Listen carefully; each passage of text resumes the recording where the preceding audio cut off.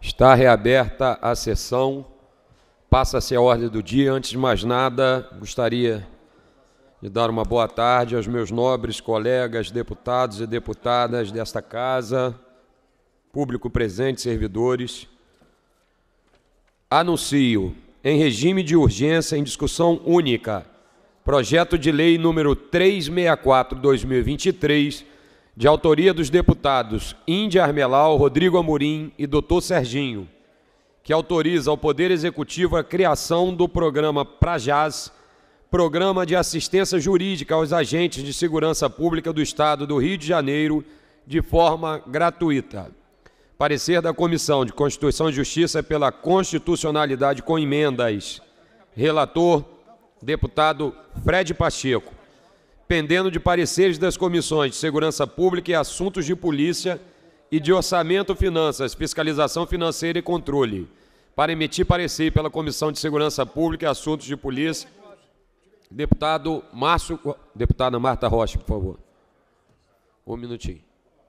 Boa Pode falar, tarde, deputado. presidente. Boa Boa tarde. tarde. a todas e todos. Eu quero inicialmente saudar aqui a deputada Índia Armelau, o deputado Rodrigo Amorim o deputado doutor Serginho. É, eu quero fazer uma questão de ordem, porque quando esse projeto veio à pauta, eu tive a oportunidade de falar é, que esse projeto tinha uma semelhança muito forte com um projeto meu de 2015. Cheguei, inclusive, a formular um, um recurso à CCJ com esses argumentos. E, ao final, nós entramos aqui num acordo, e aí eu quero ouvir dos autores, né, que a gente tiraria o recurso, o meu nome figuraria também nesse projeto, e no, no outro projeto eu não tenho como trazer o nome dos deputados, porque o projeto é de 2015 e eles só chegaram aqui, o deputado doutor Serginho e o deputado eh, Rodrigo Amorim, em 2019. E a deputada Índia Armelau chegou muito bem em 2023, mas eu não tenho como estender essa autoria. Então, eu queria só saber se está firmado esse acordo de procedimento ou não. Senhor presidente, assim é uma honra ter a deputada Marta Rocha como coautora do projeto. Obrigada, sim? É, inclusive, o deputado cadê ele? Carlinhos BNH também pediu coautoria, tá? Só para registrar, por favor. Carlinhos BNH pediu coautoria.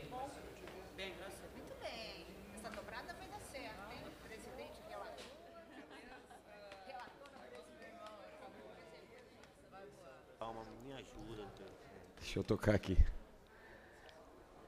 Está ajustado, então. Deputada, já constou aí, deputada Marta Rocha? Já?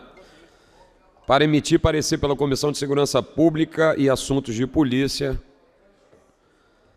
Deputado doutor Serginho, por favor, presidência designa Vossa Excelência. Parecer favorável, senhor presidente. Para emitir parecer pela Comissão de Orçamento, Finanças, Fiscalização Financeira e Controle, nosso presidente deputado André Correia.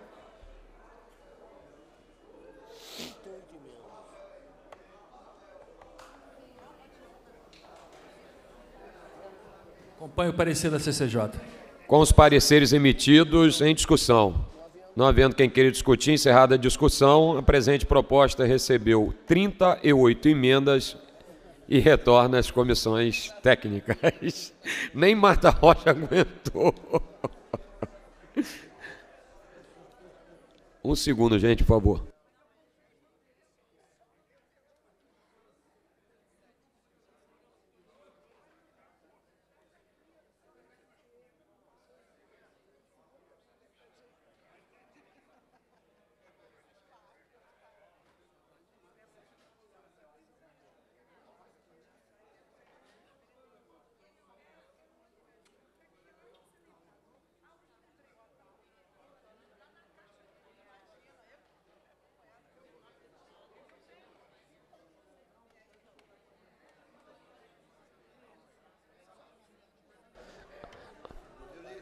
Anuncio. De- Deputado Pedro Brazão, por favor. É, eu queria, para excelência presidente, solicitasse aqui a inclusão do meu, de um projeto tá, do nosso Bruno Dawali, nosso deputado estadual, hoje secretário, tá? Secretário de Habitação. O número do projeto é o 4567 barra de 2021, tá? que altera a lei 2407, de 8 de junho de 1995, que inclui no município de Iguaba, Iguaba Grande, e da outras previdências, tá? E também a inclusão do meu projeto número 362/2019, tá? Muito obrigado, Sua Excelência. Positivo, meu vice-presidente. Se eu não atender Vossa Excelência, eu estou roubado. Anuncio em tramitação ordinária em votação em primeira discussão. Projeto de lei número 1242/2015 de autoria da deputada Marta Rocha que altera o decreto de lei número 218 de 18 de julho de 75, que dispõe sobre o regime jurídico peculiar aos funcionários civis do Serviço Policial do Poder Executivo do Rio de Janeiro e dá outras providências. Pareceres das comissões Constituição e Justiça pela constitucionalidade, de legislação constitucional complementar e códigos favorável, de segurança pública e assuntos de polícia favorável, de saúde favorável, de orçamento, finanças, fiscalização financeira e controle favorável.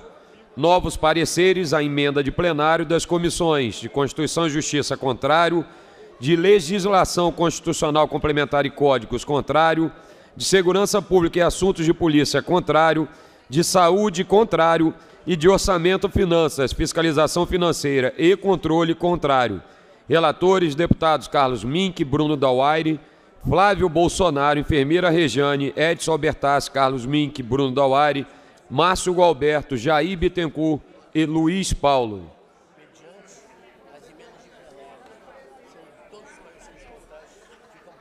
Diante de todos os pareceres, as emendas de plenário terem sido contrários, ficam prejudicados. Em votação, o projeto original.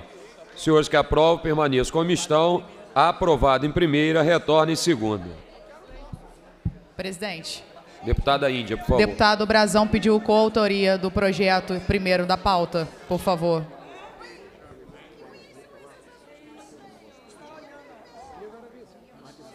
Pode. Anuncio.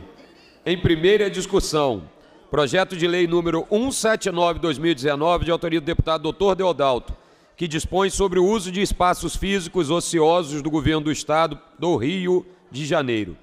Pareceres das comissões Constituição e Justiça pela constitucionalidade, de Orçamento, Finanças, Fiscalização Financeira e Controle favorável. Relatores, deputados Dr. Serginho e Luiz Paulo. Em discussão. Não havendo quem queira discutir, encerrada a discussão. A presente proposta recebeu 30 emendas e retorna às comissões técnicas.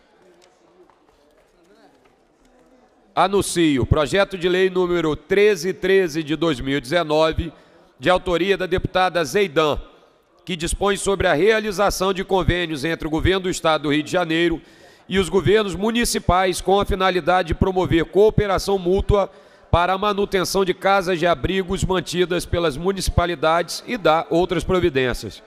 Pareceres das comissões Constituição e Justiça pela constitucionalidade com emenda de assuntos da criança, do adolescente e idoso favorável, de serviços públicos favorável com emenda, de assuntos municipais e de desenvolvimento regional favorável com emenda da Comissão de Constituição e Justiça.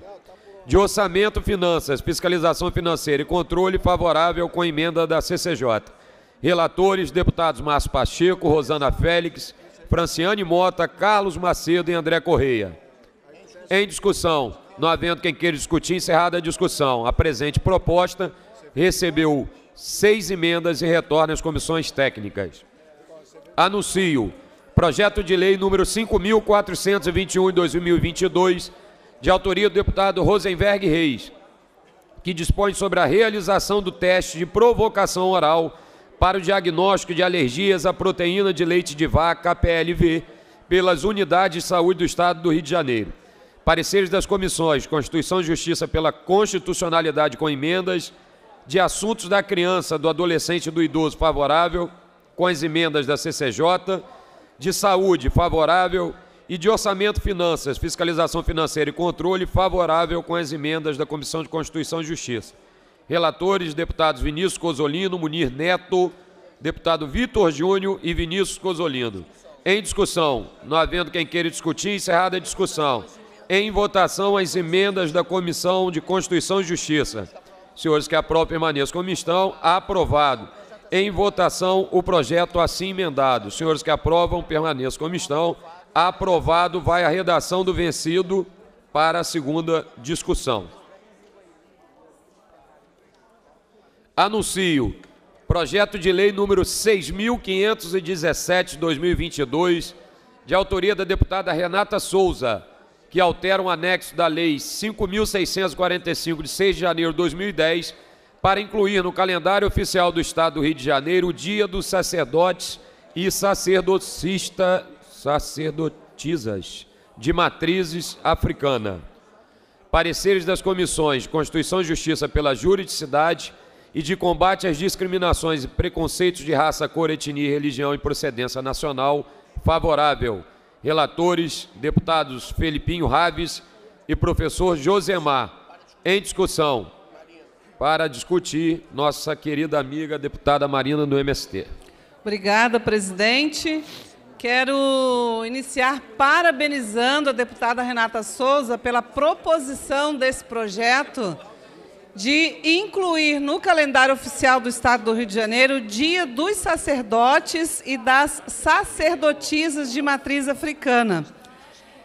Acho que isso é muito importante, a proposição desse projeto de lei, porque marca a importância do reconhecimento aos sacerdotes, às sacerdotisas das religiões de matriz africana. E a deputada Renata traz para nós que né, nada como comemorar essa data, né, fortalecer aí o significado e a necessidade de nós expressar o respeito a essas religiões tradicionais e também uma forma de valorizar e reparar tantas injustiças e preconceitos pois são segmentos religiosos mais atacados e vitimados por crimes de intolerância religiosa no nosso Estado. Também destacar que o tema da intolerância religiosa e da discriminação contra as religiões de matriz africanas, que nós podemos denominar como racismo religioso, remonta de outros tempos, não é, presidente? Então, Embora presente em vários momentos da história, atualmente tem ganhado espaço e debates devido a uma série de ataques contra essas comunidades. Não é? Então, queria mais uma vez saudar a deputada Renata Souza pela proposição desse projeto, dizer que é muito importante que essa data homenageie homens e mulheres que cotidianamente enfrentam o preconceito e a violação do seu sagrado e que esse projeto é uma ação direta do enfrentamento ao racismo. Então, saudar, parabenizar a deputada pela proposição desse projeto e dizer que a sociedade fluminense ganha com isso. Parabéns, deputado. Obrigada, presidente. Voto contra, senhor presidente. Deputado Rosenberg, por favor. Presidente, resiste meu voto contra, por favor.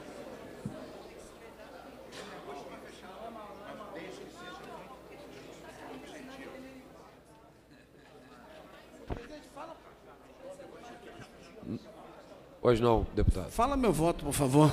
Contrário, não é? Sim, senhor. Está tá, tá devidamente registrado.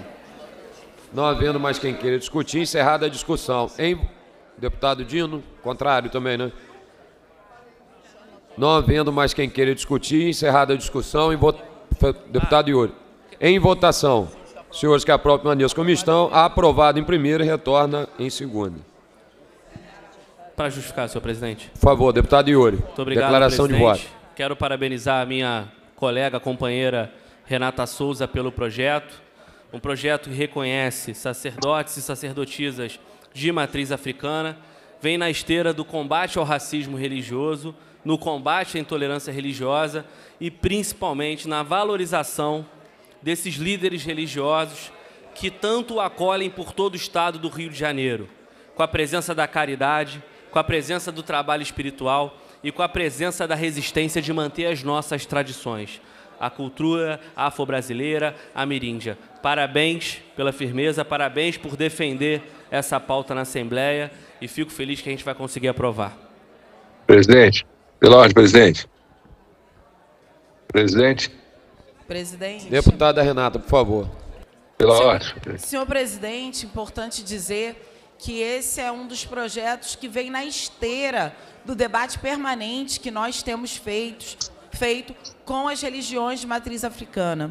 E esse debate, inclusive, dizer, deputada Marta Rocha, que nós realizamos a época lá que presidia a Comissão de Defesa dos Direitos Humanos, uma audiência pública num terreiro de candomblé, que foi exatamente no terreiro é, de Mãe Beata de Emanjá, trazendo o debate da importância não só dessas datas rememorarem a possibilidade de reconhecimento da ancestralidade africana e negra do nosso país, mas também impulsionar políticas públicas que superem a lógica do racismo eh, religioso e também da intolerância religiosa. Então, esses são debates importantes que nós já temos feito com as comunidades eh, de religiões de matriz africana e que hoje, obviamente, botar o dia 24 de novembro como o dia da sacerdotisa e do sacerdote de religiões de matriz africana é justamente reconhecer o papel dessa, dessas religiões no Brasil como o nosso, né, que precisa sair do processo ainda de racismo e intolerância religiosa que a gente vê todos os dias. Então, senhor presidente, só para solicitar que a gente possa retornar com esse projeto na próxima semana para a gente conseguir concluir a sua votação. Muito obrigada. Senhor presidente, poderia colocar a minha abstenção nesse projeto, por favor? Tá bom, deputado Abstenção. Samuel, está registrada a abstenção de Vossa Excelência.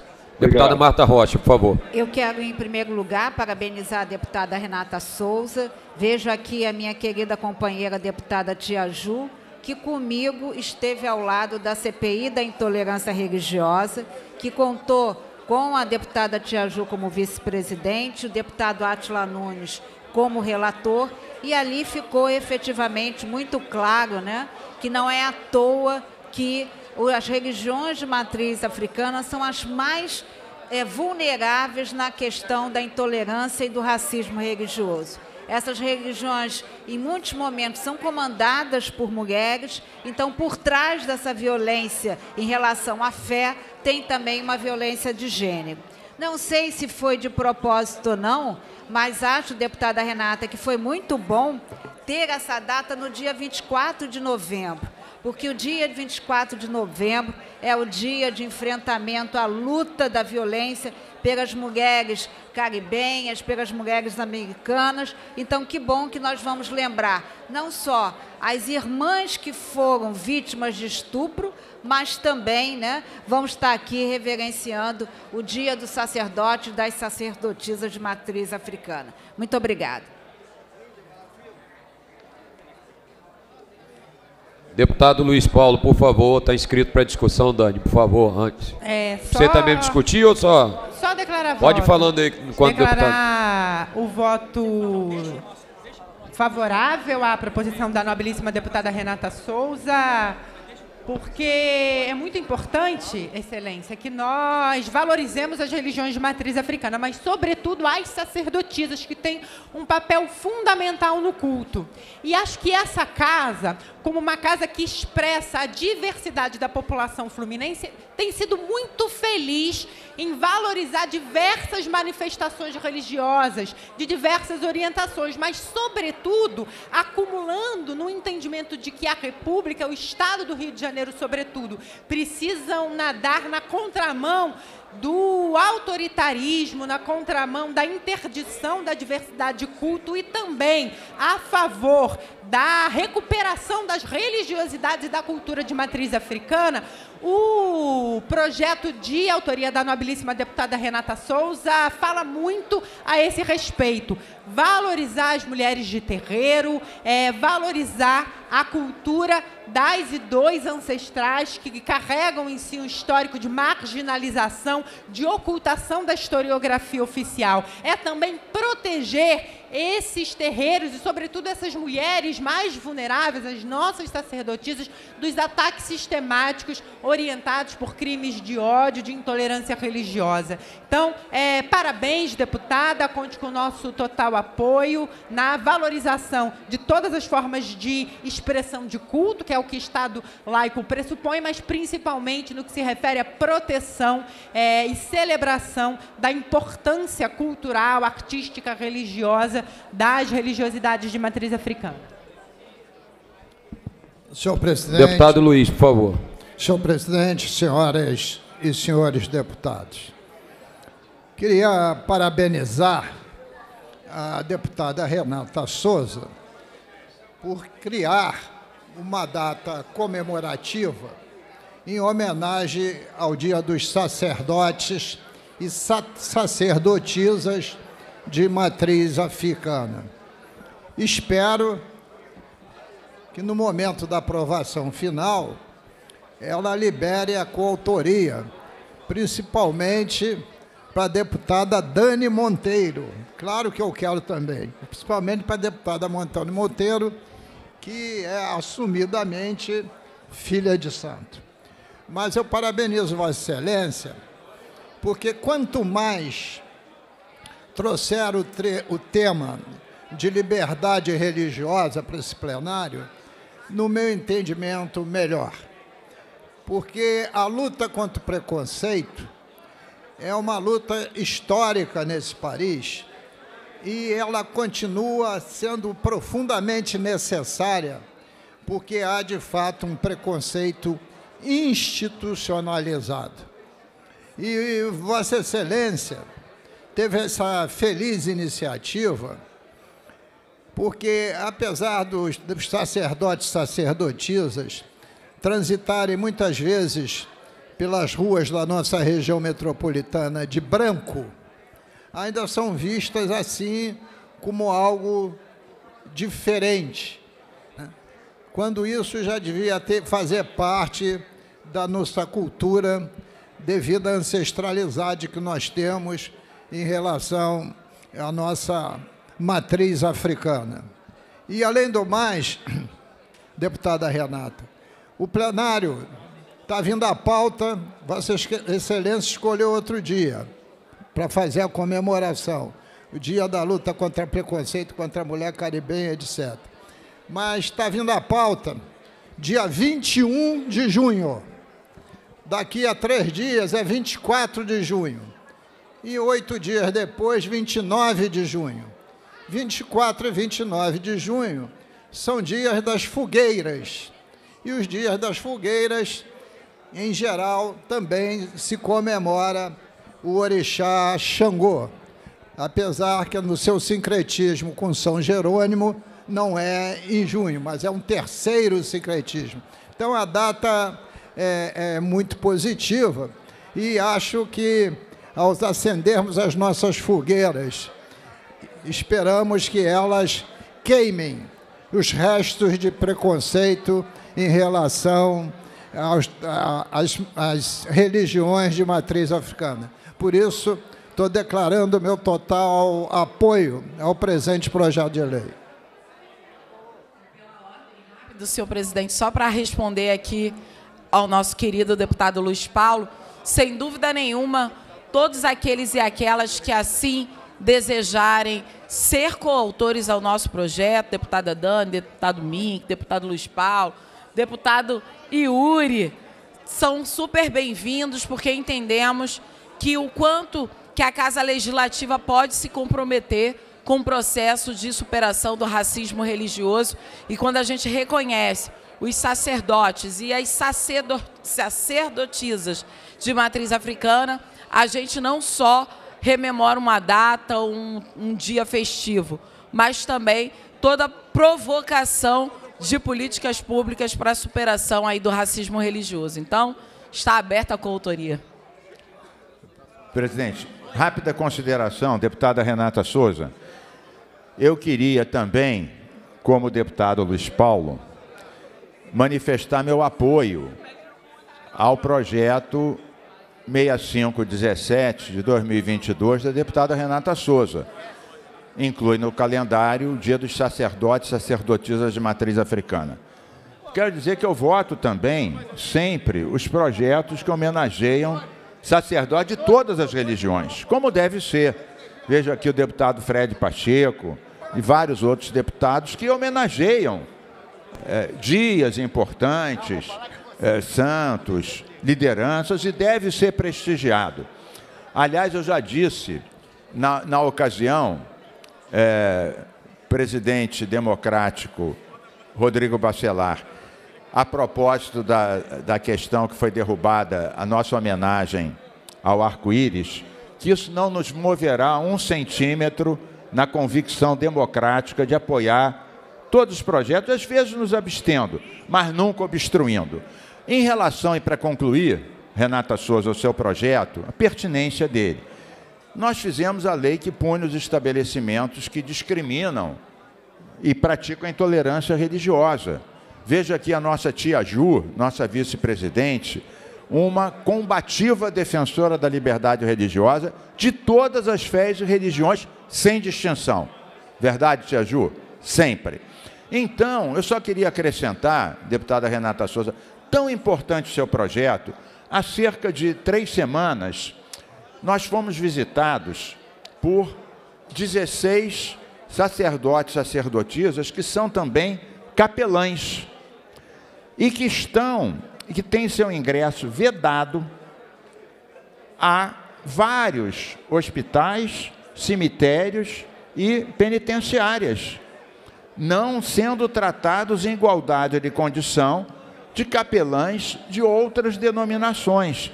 Por isso, tão importante o seu projeto, que esse dia sirva não apenas para uma comemoração, mas para uma reflexão, um programa de conscientização, de informação, para que todos sejam respeitados em todas as esferas, inclusive nos serviços de capelania exercidos por essas autoridades religiosas. Parabéns.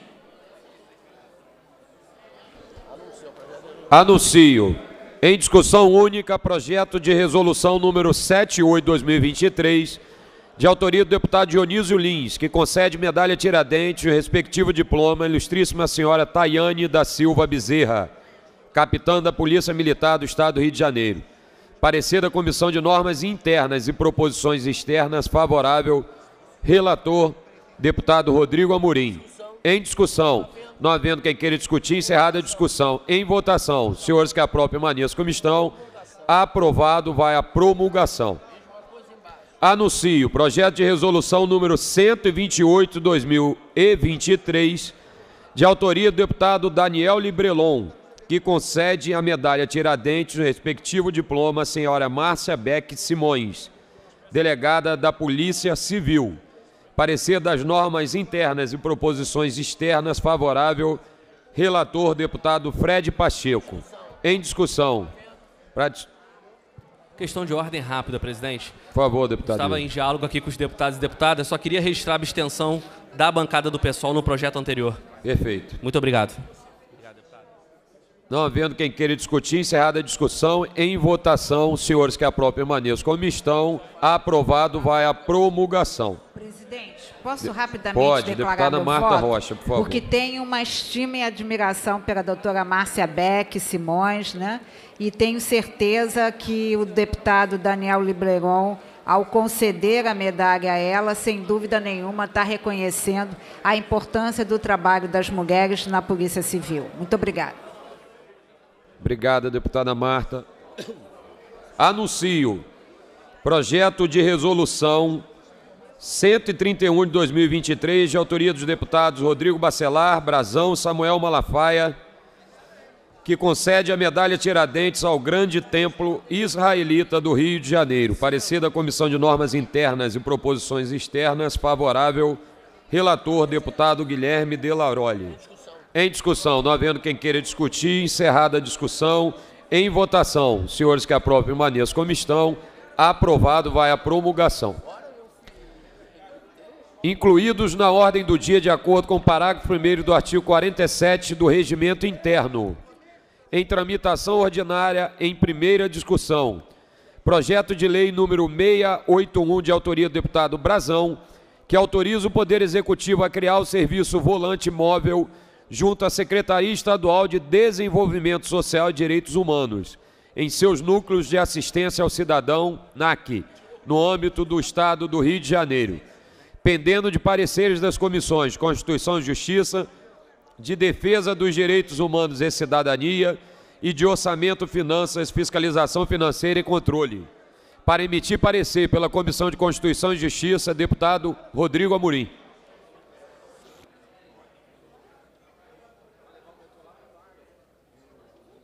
Senhor presidente, parecer pela constitucionalidade com emendas. Pela constitucionalidade com emendas. Muito obrigado, deputado. Para emitir parecer pela Comissão da Defesa dos Direitos Humanos e Cidadania, nossa presidenta Dani Monteiro, por favor. No... Obrigado, presidente. No mérito, favorável. Muito obrigado. Para emitir parecer pela Comissão de Orçamento, Finança, Fiscalização Financeira e Controle, deputado André Correia.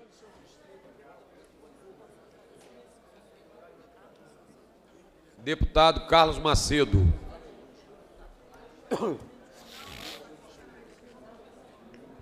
Acompanho o parecer da CCJ, presidente. Com os pareceres emitidos em discussão. Não havendo quem queira para discutir, deputada Marina do MST. Obrigada, presidente. Queria cumprimentar e saudar o deputado Brazão pela proposição desse PL, considerando, presidente, que no Brasil, segundo os dados aí do IBGE, nós temos em torno de 2,7 milhões de brasileiros que não têm qualquer tipo de registro civil. E imagina, essas pessoas existem e são invisíveis, não é? Então, esse, essa falta de documentação impede que as pessoas tenham acesso aos diversos outros direitos, seja da escola, seja saúde, seja de participar de programas sociais. E o registro civil é um dos caminhos para as pessoas terem minimamente dignidade, não é? Eu queria falar especificamente, é, relacionando a esse projeto proposto pelo deputado Brazão, que também aqui no nosso estado a população rural encontra muitas dificuldades de acesso aos órgãos que realizam os registros, que emitem documentos, pois boa parte dessas instituições estão nas cidades muito longínquas e o pessoal tem dificuldade de transporte, etc. Não é? Por isso é valiosíssima essa proposição do deputado Brazão. E pensando nisso, olhando para essa realidade aqui do Estado, nosso mandato estabeleceu um diálogo com a Defensoria Pública do Estado do Rio de Janeiro, com a ouvidoria externa da Defensoria e também o Núcleo de Assessoria Popular Luísa Maim, que é da Universidade Federal do Rio de Janeiro, para construir pela primeira vez nesses moldes, muito parecido com o PL do deputado Brazão, uma ação nos assentamentos, nos acampamentos e em diversos territórios do estado do Rio de Janeiro que estão né, pelo interior. Então, a nossa ideia é levar até, as popula até a população mais vulnerável o acesso não somente à justiça, mas também ao registro enquanto direito humano. humano. Então, Parabéns, deputado Brazão, por essa proposição. Certamente, a criação desse serviço volante móvel, junto à Secretaria Estadual de Desenvolvimento Social e Direitos Humanos, vai cumprir um papel muito importante para assistir e dar visibilidade a centenas de pessoas aqui do nosso estado do Rio de Janeiro. Obrigada. Deputado Yuri, antes de mais nada, só para registrar a presença do vereador Sandro Rito, está aqui o presidente da Câmara de Resende, vereador Fábio Lucas também, estão ali com nosso amigo deputado Tande, Carlinho BNH, sejam bem-vindos a este parlamento. Por favor, deputado Yuri. Obrigado, presidente. Eu queria parabenizar também o deputado Brazão pela proposta, dizer que em Petrópolis, enquanto era vereador, presidente da Comissão de Educação Assistência Social e Direitos Humanos da Câmara Municipal, conseguindo uma articulação com o Executivo criar o CRAS Volante, foi uma indicação minha aprovada na Câmara que se tornou realidade. E a proposta do deputado vem nesse caminho, de trazer o governo do Estado em respeito ao Sistema Único de Assistência Social, fortalecendo esses vínculos e tarefas. A presença de um serviço volante imóvel facilita, inclusive, que a gente chegue nos bairros mais distantes, que a gente chegue nas cidades, que às vezes não possuem uma grande estrutura em sua Secretaria Municipal de Assistência Social. Então, esse projeto é muito importante e vai, inclusive, aproveitar esse bom momento que a gente vive de fortalecimento dos programas sociais no Brasil. Bolsa Família aumentou nesse ano, presidente Lula cumpriu seu compromisso com o povo brasileiro. É um programa que atende as mulheres, que entende as famílias que possuem mais filhos, principalmente no enfrentamento ali a, ao atendimento aos bebês, às crianças recém-nascidas. Então, é muito importante que o Estado se comprometa. E aí quero aproveitar também para dizer que por mais um mês o Super RJ caiu sem nenhum tipo de transparência. Caiu atrasado na conta de dezenas de milhares de famílias, famílias inclusive que ficaram três meses sem receber, e a gente percebe que algumas recebem mês sim, mês não, e outras não recebem há muito tempo, e outras continuam sendo contempladas. Já protocolei projeto de lei nessa casa para instituir um calendário, ou seja, dia certo para o Super RJ. Já protocolei nessa casa a garantia de quem recebe o Bolsa Família possa continuar no Super RJ e também a medida de transformar esse programa em algo permanente. A fome não espera, a fome não vai acabar até o final desse ano, infelizmente. Por isso, nós precisamos fortalecer os programas. E o que está acontecendo no Super RJ é uma vergonha. Não tem nenhum tipo de informação aos cidadãos e cidadãs que possuem esse direito. A pessoa não sabe se vai receber ou não naquele mês e a gente está acompanhando, está oficiando, está cobrando e não consegue respostas. Então reforça aqui com as famílias do Super RJ que a gente não vai desistir de garantir transparência e dignidade nesse programa. E que a Secretaria de Desenvolvimento Social do Estado do Rio de Janeiro, todo o governo do Estado, se responsabilize por isso. Não se brinca com a família que precisa de colaboração, de ajuda do Estado para poder botar comida na mesa, para garantir dignidade para os seus filhos e filhas. Seguiremos firmes, não está fácil, não está tendo informação, mas a gente vai continuar cobrando. Obrigado. Presidente, para discutir. Deputado Tiaju, por favor. Bem rapidamente, presidente, eu quero aqui saudar a iniciativa do deputado Brazão no projeto 681 de 2023, 2023 é, que, é, que né, a, propõe e autoriza ao Poder Executivo a criação do serviço volante móvel junto à Secretaria Estadual de Desenvolvimento Social e Direitos Humanos. Dizer que a nossa secretária Rosângela Gomes está bastante empenhada em, fazer entregas para o nosso Estado, é, dado ao, a própria vivência de vida dela. Tive a oportunidade de ser secretária de Assistência Social e Direitos Humanos do município, num, num momento muito crítico da, da humanidade, que foi no momento da pandemia 2020, e nós buscamos fazer entrega. Um gargalo muito grande que há é, nessas políticas sociais, principalmente na emissão de documentos, no acesso das pessoas aos serviços que elas dependem para ter até o acesso a alguns benefícios sociais, é exatamente a locomoção, deputado Yuri, é, dessas pessoas até o equipamento mais próximo. Os equipamentos ainda são insuficientes, mas nada melhor do que o serviço indo até o cidadão.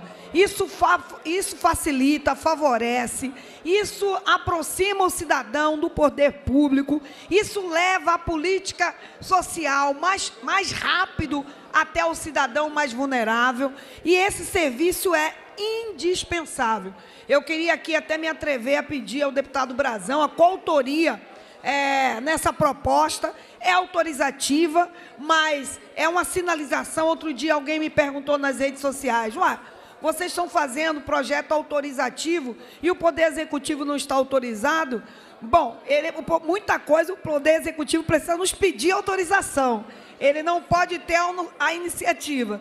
E é, as demandas do Estado são imensas. Nós estamos aqui para apontar, deputado Jorge Felipe Neto, onde tem o maior gargalo para que o Poder Executivo possa atuar ali diretamente. Então, levar os serviços móveis até o cidadão é de suma importância.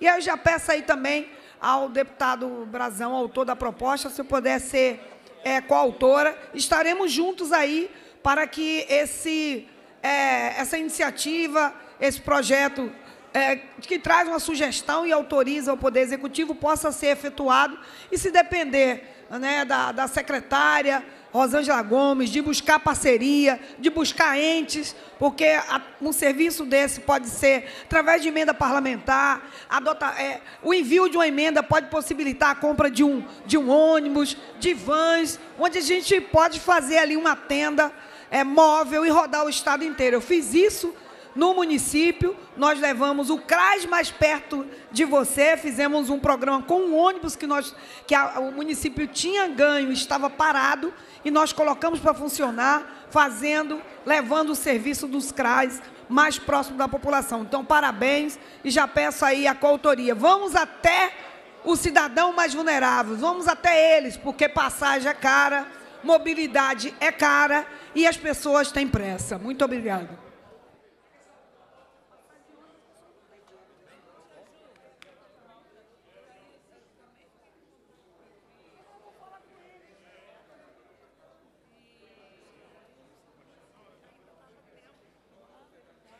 Presidente, pela ordem. Sim. Só aproveitar essa pequena pausa para convidar os senhores e senhoras deputados para a audiência pública que a Comissão de Saúde vai promover na próxima quarta-feira sobre o diagnóstico e tratamento de endometriose pelo, pelo Estado do Rio de Janeiro. É uma oportunidade para a gente discutir uma doença que está afligindo milhares de mulheres no nosso Estado e, o, e, e, solicitar à Secretaria de Estado de Saúde que amplie essa rede de proteção para essas mulheres. Obrigado. Obrigado, deputado Tandy. Deputado Brazão, inclusive, deputada Marta Rocha e demais colegas, abriu aqui com autoria para quem. Era isso? Então, para quem quiser aqui a coautoria no projeto deputado Brazão, deputada Marta Rocha, deputado Yuri. Não havendo mais quem queira discutir, encerrada a discussão. Tia Ju, Dionísio também, Tia Ju e Dionísio. Marina do MST.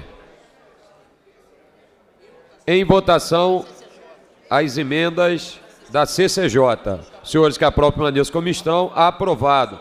Em votação, o projeto assim emendado. Senhores que aprovam, permaneçam como estão. Aprovado, vai a redação do vencido para a segunda discussão.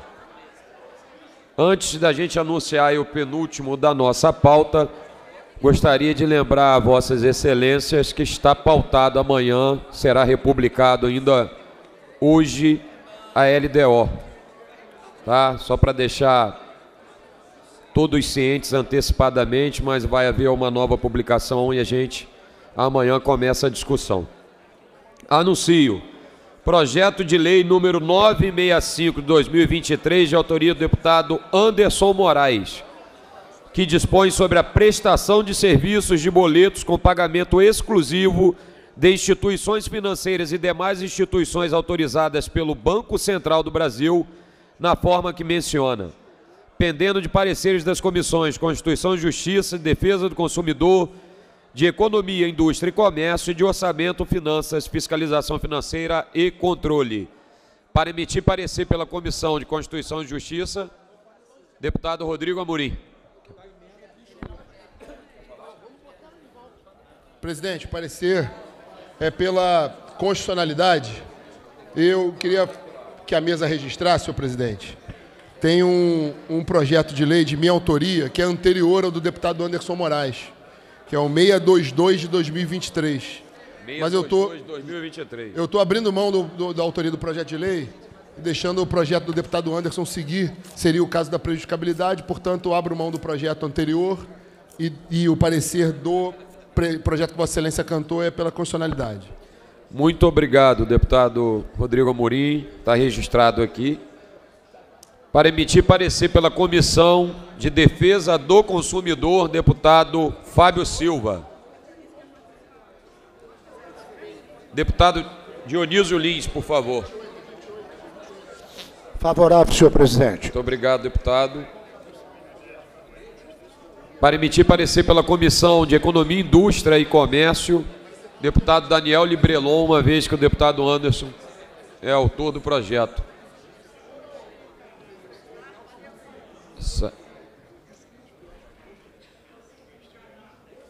Deputada Dani Balbi, por favor.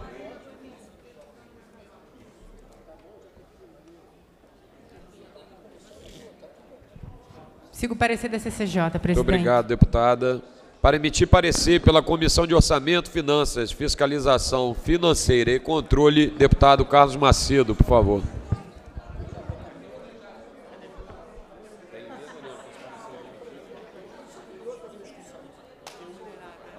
Parecer favorável, presidente. Muito obrigado, deputado Macedo. Com os pareceres emitidos em discussão. Para discutir, Para discutir, deputado autor Anderson Moraes, por favor. Senhor presidente, boa tarde. Primeiro aqui, é, eu quero agradecer ao deputado Rodrigo Amorim pela sua nobreza, tá? É claro que ele tem o direito, ele tem uma ideia similar à nossa, porém ele entende a necessidade de que um dia, um dia sequer, a menos a gente tratando dessa matéria, são mais pessoas, mais consumidores aí no estado do Rio de Janeiro sofrendo. Então ele teve a nobreza de deixar o nosso projeto prosperar. Quero aqui parabenizar o deputado Rodrigo Amorim pelo gesto. Em segundo, presidente, eu quero de antemão, antes que qualquer deputado dessa casa possa vir querer alegar que estamos legislando eh, com relação à lei federal, né, que trata eh, dos bancos, eu quero dizer que estamos aqui, diferente disso, estamos tratando dos consumidores. É um absurdo hoje um consumidor chegar com a sua boleta dentro de qualquer agência bancária, qualquer uma, independente da bandeira, com a conta, com o dinheiro contado para poder fazer o pagamento daquela duplicata, daquele boleto, e o banco simplesmente recusar por conta do consumidor talvez não ter uma conta naquela agência, não ter uma conta naquele banco, e a gente está recebendo diversos relatos com relação a isso. Um exemplo, um exemplo aqui que eu quero dar, que acontece muito.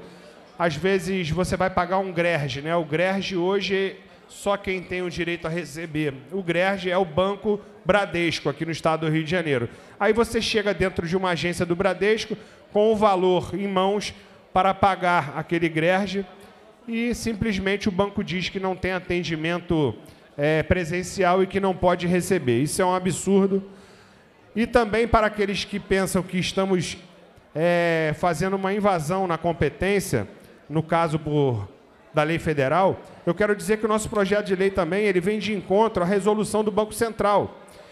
É, resolução número 4746, que no artigo 3 está escrito assim: é vedado às instituições referidas no artigo 1 impedir o acesso, recusar, dificultar ou impor restrição ao atendimento presencial em suas dependências, inclusive em guichês de caixa, a clientes ou usuários de produtos e de serviço, mesmo quando disponível o atendimento em outros canais.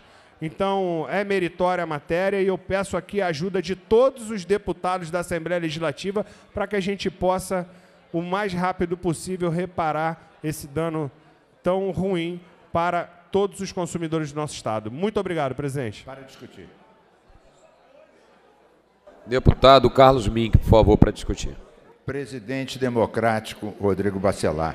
Venho aqui rapidamente a esse microfone de aparte para dizer que eu estou, sou favorável ao projeto de lei 965 de 2023, de autoria do deputado Anderson Moraes. Aliás, já tinha pedido uma explicação para ele e ele me deu essa explicação que agora compartilhou com todos os deputados, mostrando que é um projeto a favor do consumidor. Nós podemos e devemos legislar sobre direito do consumidor. E mais, a questão que o deputado Anderson levanta, eu sou testemunho de que é verdade. Muitos bancos exercem sobre as pessoas que não são correntistas e que querem pagar suas contas uma visão completamente eh, totalitária e discriminatória. Tipo assim, olha, para pagar a conta dessa forma você tem que ser correntista. Mas espera aí, o, o, o, o dinheiro corrente é a moeda nacional, é aceita em qualquer lugar do Brasil. Então, você usar o, o caixa do teu banco para impelir o cidadão que quer pagar uma conta para se tornar correntista do seu banco é algo que contraria todos os direitos do consumidor. Portanto, é meritório o projeto, espero que seja aprovado e sancionado. Já me disponho, deputado Anderson, para fazermos o cumpra-se dele nas agências que, que queiram seguir descumprindo esse direito fundamental do consumidor. Parabéns.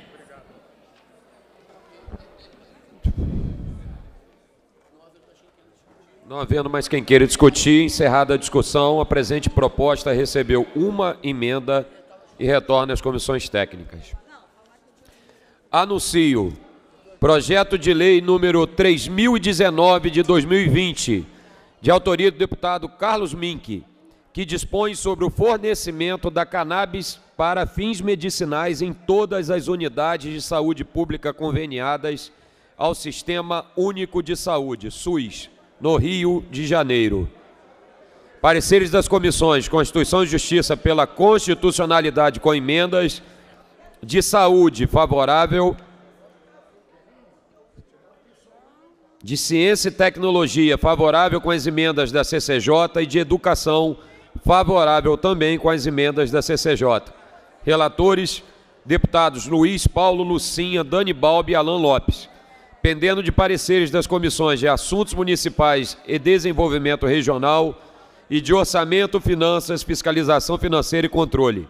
Para emitir parecer pela Comissão de Assuntos Municipais de Desenvolvimento Regional, deputado Renato Machado. É, boa tarde, presidente. Queria justificar o voto. E por se tratar de uma matéria que eu sei que vai gerar algum tipo de polêmica, mas eu tenho amigos em comuns que se tratam com cannabis e tem um resultado muito positivo com o cannabis sendo utilizado na questão medicinal. Então, eu, se eu for utilizar aqui, a Bíblia retrata que a ciência ela se multiplicaria nos últimos dias. E nós estamos vendo aí um avanço claro da ciência. E eu sei, por exemplo, poderia citar aqui o exemplo da neta do nosso presidente Lula, Bia Lula, que se trata com o cannabis e ela tem tido uma melhora bem evolutiva a partir desse tratamento, mas todos sabemos que é um tratamento caro e nem toda a população nesses, pode usufruir desse remédio. Então, parabenizar aqui nosso deputado Carlos Mick pela iniciativa, dizer que tem o meu apoio e meu voto é favorável. Muito obrigado, deputado Renato. Presidente, para discutir. Deixa eu terminar de, de colher os votos, só por favor, Amorim. Pela Comissão de Orçamento, Finanças, Fiscalização Financeira e Controle, deputado Carlos Macedo, por favor.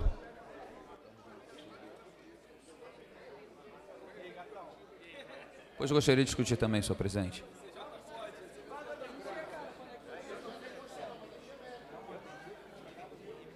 Parecer favorável, presidente.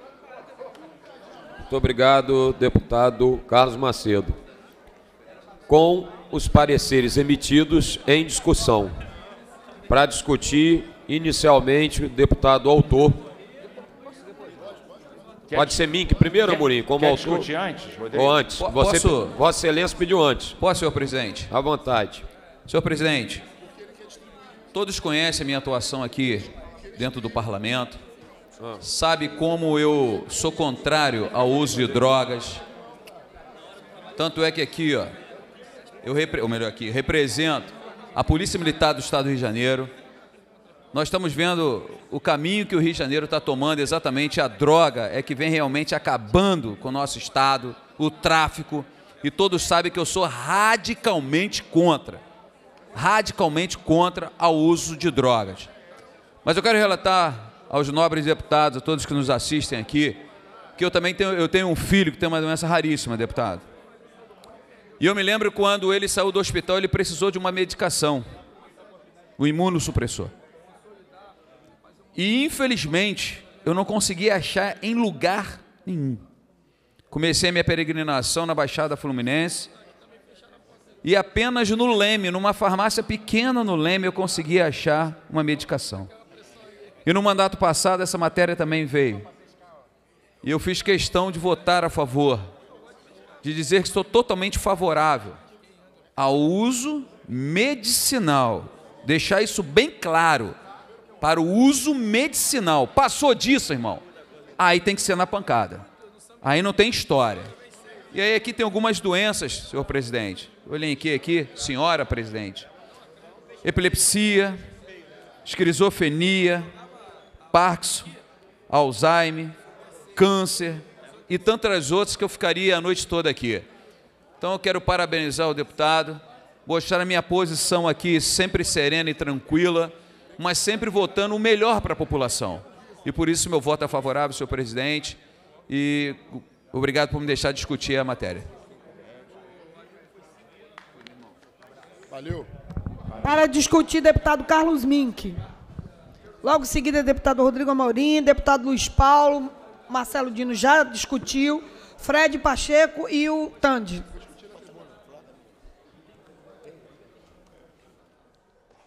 Para discutir, deputado Carlos Mink.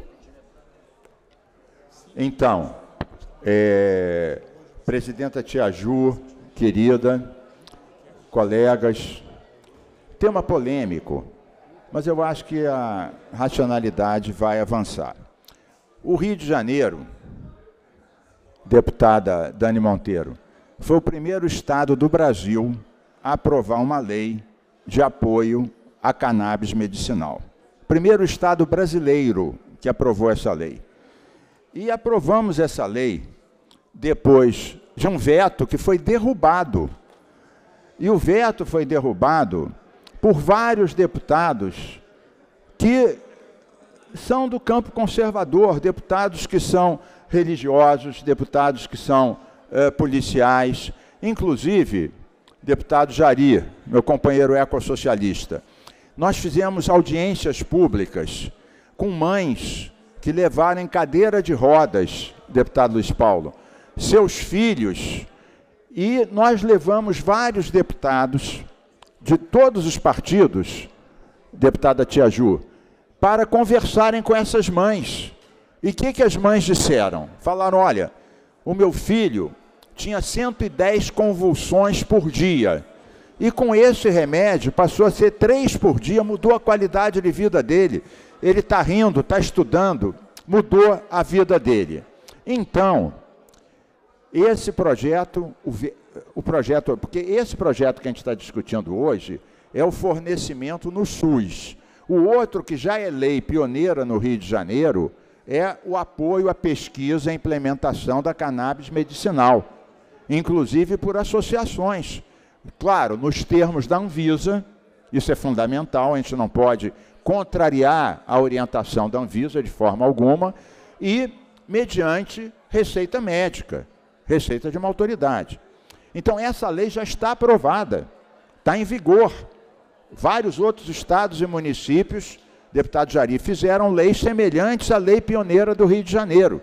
Lembrando que essa lei foi aprovada com votos da direita, do centro e da esquerda. Ficou claro que a gente está discutindo saúde pública e não política de drogas. A política de drogas é uma discussão importante, é. Hoje mesmo, coincidentemente, hoje o Supremo Tribunal Federal está discutindo e votando a diferenciação, deputado Yuri, deputado professor Josemar. Hoje o STF está discutindo o que, que é usuário e o que, que é traficante. Mas essa não é a nossa discussão, porque isso é uma discussão federal. Nós, deputados estaduais, deputada Érica, não podemos legislar sobre política de drogas. Isso é uma questão do Congresso e o Supremo foi provocado, está decidindo hoje sobre esse tema. Hoje. que a gente está discutindo é sobre saúde. Veja o deputado Tange, Comissão de Saúde, é saúde que a gente está discutindo. Ou seja, a Anvisa definiu, deputada Tiaju, diz, até agora, 16, 16 é, tipos de doença, 16 tipos de problemas para os quais esse medicamento é eficaz. É claro que as pessoas que não conhecem o assunto acham que existe um remédio só, não é. A quantidade do princípio ativo, a dosagem, o médico vai dizer: olha, você está com problema de, de insônia, né, de, de ansiedade. Então, três gotinhas por dia. Essa é a dose que eu tomo. Eu tomo todo dia três gotinhas, senão não aguentaria várias coisas que eu aguento aqui nessa Assembleia Legislativa. Três gotinhas por dia é um santo remédio. Isso me faz ficar sempre de bom humor, apesar de muitas coisas que eu ouço aqui, deveria ficar com os cabelos que me restam arrepiados. Agora, é claro que pessoas que têm, deputado Fred Pacheco, patologias graves, é outra composição e outra quantidade, como qualquer remédio. Como qualquer remédio. Então, hoje a gente não está discutindo se é ou não é, porque a gente já tem uma lei que diz que sim. A gente está discutindo outra coisa. O fornecimento no SUS é estadual. Como o SUS é tripartite, nós não podemos legislar sobre o SUS municipal nem sobre o SUS federal. Está fora do nosso alcance. Mas sobre o SUS estadual, nós podemos legislar. E por que, que isso é importante? É, é desconhecido. Tira. Com certeza. Deputado Carlos Mink, é só para tirar, esclarecer que alguns deputados aqui me pediram orientação. Como o senhor falou, essa não é uma questão de esquerda ou de direita, é uma questão, obviamente, de saúde pública que melhora a qualidade de vida de muita gente.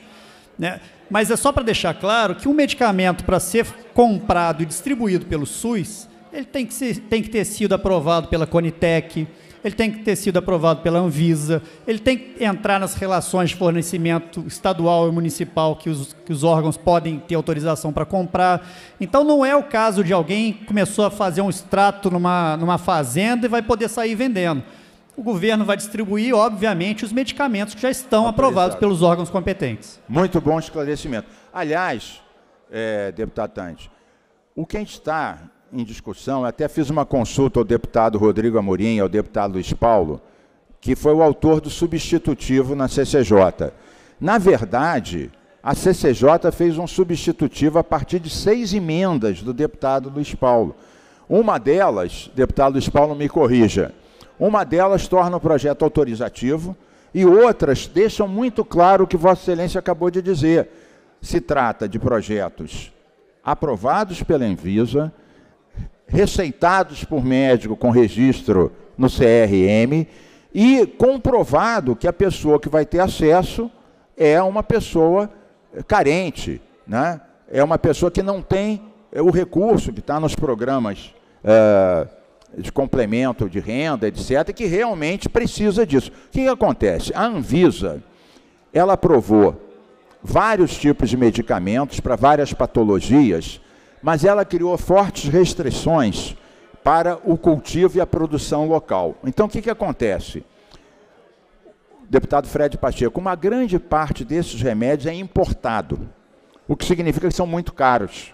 Então, muitas pessoas que têm seus filhos com problema de câncer, autismo, epilepsia e várias outras patologias, não conseguem, deputada Élica, terem acesso, porque é muito caro, porque a Anvisa deu uma no cravo, na ferradura, reconheceu o remédio, autorizou a comercialização de tais tipos para tais patologias mediante tais receitas, exatamente nos termos que Vossa Excelência esclareceu e está correto.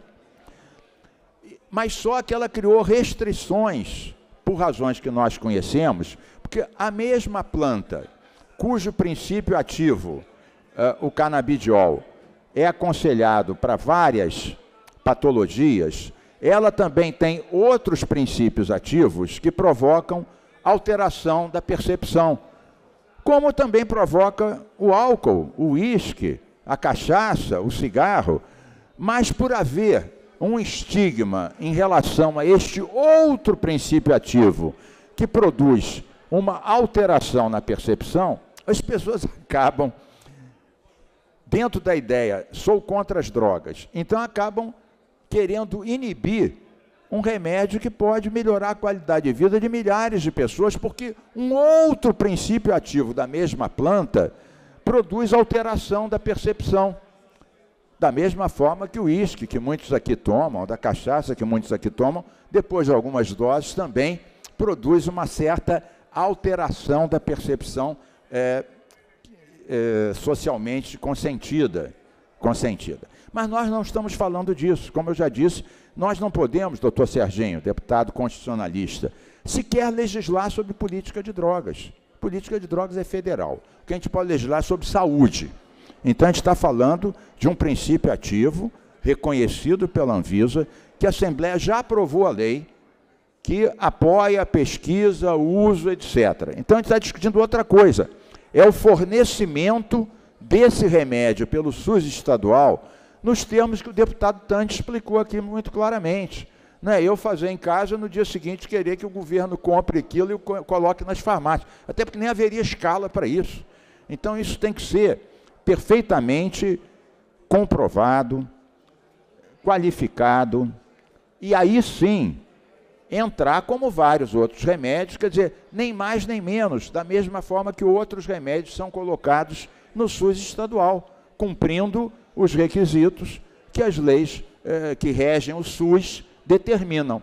Então, seria uma contradição, deputado Tante, a Assembleia aprovar a primeira lei do país de apoio, pesquisa, uso do cannabis medicinal e negar que para as famílias hipossuficientes, pobres, que elas possam, que o seu filho não possa ter acesso, vai continuar tendo 100 convulsões por dia, porque não está no SUS. Quero lembrar, e para concluir, a deputada Tia Ju já foi condescendente comigo, eu vou concluir, deputada Tia Ju. Concluir. Dizer que o governador de São Paulo, Tarcísio, que é um governador conservador, foi eleito com apoio do ex-presidente Bolsonaro, né, tem suas características, mas é um governador conservador, ele acaba de sancionar lei idêntica e defendeu dizendo que um sobrinho dele foi salvo de várias doenças por causa desse remédio. E por isso ele sancionou a lei que garante que o SUS estadual de São Paulo forneça. Então, isso só para mostrar que não é uma questão de esquerda-direita, que um governador conservador, ao estilo que o deputado Amorim aprecia, um conservador moderado, como o deputado Amorim, que todos nós sabemos que é um deputado cada vez mais moderado e conciliador. Então, o governador Tarcísio, deputado Amorim, sancionou uma lei idêntica a essa, falando do seu sobrinho. Para concluir. Então, concluir, então, agora. E agradeço, deputada Tia Ju, a vossa imensa condescendência e o seu carinho de sempre. Próximo inscrito, deputado Rodrigo Amorim. Logo em seguida, deputado Luiz Paulo. Senhora presidente, enquanto o deputado Rodrigo Amorim não chega até o a tribuna, eu gostaria de informar que o deputado Libre, eh, Daniel Librelon retirou a emenda do 11º projeto da pauta. O 965. Assim que terminar as discussões aqui, eu vou chamar os trabalhos à ordem e, tá, e votarmos o projeto. De antemão, quero agradecer aqui o deputado Daniel Librelon. Senhora presidente, senhores deputados, senhoras deputadas, aqueles que nos assistem pela TV Alerge, por óbvio, presidente, que eu não podia deixar de fazer uso da palavra nesse momento de discussão, e aí, obviamente, me dirigi ao autor da proposta, deputado Carlos Mink, porque eu tenho acompanhado no âmbito do município do Rio de Janeiro uma intensa discussão que tem todo o arcabouço ideológico por trás dela, óbvio, mas que o meu irmão, o vereador Rogério Amorim, tem se empenhado na Câmara Municipal é, num confronto ideológico muito preciso. Houve uma proposição a Câmara, e sei que não é o objeto da proposta de Vossa Excelência, mas houve uma proposição na Câmara Municipal, em primeiro lugar, de criar um tal Dia da Maconha Medicinal. A gente precisa aqui trazer verdade. A primeira premissa para início de conversa é a seguinte, deputado Otônio. Não existe maconha medicinal. Primeiro ponto. Depois, na tentativa infame de criar essa narrativa, eles, depois que sofreram, apanharam muito em plenário, resolveram mudar para uma tal de cannabis medicinal. O que é outra excrescência, porque não existe cannabis medicinal. E aí a gente adentra efetivamente ao aspecto, porque toda lógica e toda tentativa que a esquerda tenta impor é pegar uma matéria ou algo que parte do senso comum, que todo cidadão de bem, todas as pessoas que aqui estão, defendem certas matérias e eles fazem crer, nos impondo a narrativa deles, de que nós somos contrários a determinadas pautas. E aí cito algumas. É uma tática de querer nos acusar de racistas, quando na verdade não existe ninguém de decente, ninguém bom caráter que ouse ter qualquer tipo de comportamento racista. Mas eles nos acusam o tempo inteiro de racismo, criando mentiras, criando falácias. O que eu percebo, e aqui respeito o deputado proponente, que talvez seja o deputado que mais é, abraça a pauta da questão, até da discussão da flexibilização das leis, anti, das leis antidrogas, mas principalmente no que diz respeito ao aspecto medicinal do componente ativo da maconha. É o deputado Mink. Agora, o que eu não posso permitir é que, com uma discussão dessa, que parece ser algo tipo um lobo em pele de cordeiro, de um tema que é legítimo. A partir do momento que existe um princípio ativo que mitiga, que atenua uma série de infortúnios, de doenças, não há um ser humano de bem que seja contrário a isso. Que levante a mão alguém aqui que seja contrário à morfina, por exemplo. Não há ser humano que seja contrário a qualquer tipo de droga que atenue os dilemas, as mazelas de qualquer doença. Óbvio que não. A gente compreende também que, embora muito do que eles falem sejam é, é, dados empíricos, mas nós sabemos que há avanço sim na medicina no que diz respeito à utilização do THC, do princípio ativo da maconha, para o tratamento de determinadas moléstias. Há outras que eles dizem tratar que não, não passa de é, achismo, mas há sim avanços na medicina. Agora, estou falando isso porque a gente não pode é, aceitar que uma matéria, que é uma matéria crível, legítima, seja a porta de entrada maliciosa para é, nos empurrar goela abaixo determinadas pautas. Então, que sejamos claros, não existe maconha medicinal. Segundo ponto, quando o deputado admite, por seu projeto legislativo, que o SUS, o Sistema Único de Saúde, distribua esses medicamentos, nós precisamos partir da seguinte premissa. Tem que ser medicamento, como diz bem o deputado Tandi, presidente da Comissão de Saúde, médico, tem que ser um medicamento que tenha todo o critério de autorização da Anvisa e dos demais órgãos federais de regulação. Portanto, tem que ser um medicamento listado, aprovado, testado, e não aqueles que eles acham que fazem bem. Falo isso, senhora presidente, porque há tramitando na casa um projeto de emenda constitucional de minha autoria, face à discussão que há no Congresso, no, no, no Supremo Tribunal Federal, na mesma lógica que há um impeditivo na Constituição do Estado para que a atividade econômica da fabricação de armas seja impedida por força constitucional no território do Estado do Rio de Janeiro, há um projeto de emenda constitucional de minha autoria que proíbe que a atividade econômica, ainda que de alguma forma futura seja autorizada, o Rio de Janeiro não permita plantação de maconha, fabricação de qualquer tipo de remédio, de qualquer tipo de subproduto dessa erva maldita. Então, a gente tem que se ater aqui à discussão de que liberar algo que é lógico, que é crível, que é o fornecimento de medicamentos feitos por laboratórios credenciados, outorgados pelos órgãos de controle, sobretudo a Anvisa, é, é, é legítimo, mas eu sei que o deputado que apresenta defende uma prática que acontece aqui no Rio de Janeiro, em Patido Alferes, que meia dúzia de maconheiros se reuniram, resolveram plantar sua maconhazinha, seu pé de maconha. E aí a gente sabe que o ambiente universitário é um ambiente lobotomizado. Eles dão uma roupagem acadêmica, porque eles são oriundos desse ambiente de lobotomização universitária, talvez entorpecidos pela, pelo uso da própria droga, e resolveram dizer que estão fabricando remédios, o que é uma mentira, não tem fabricação de remédio nenhum.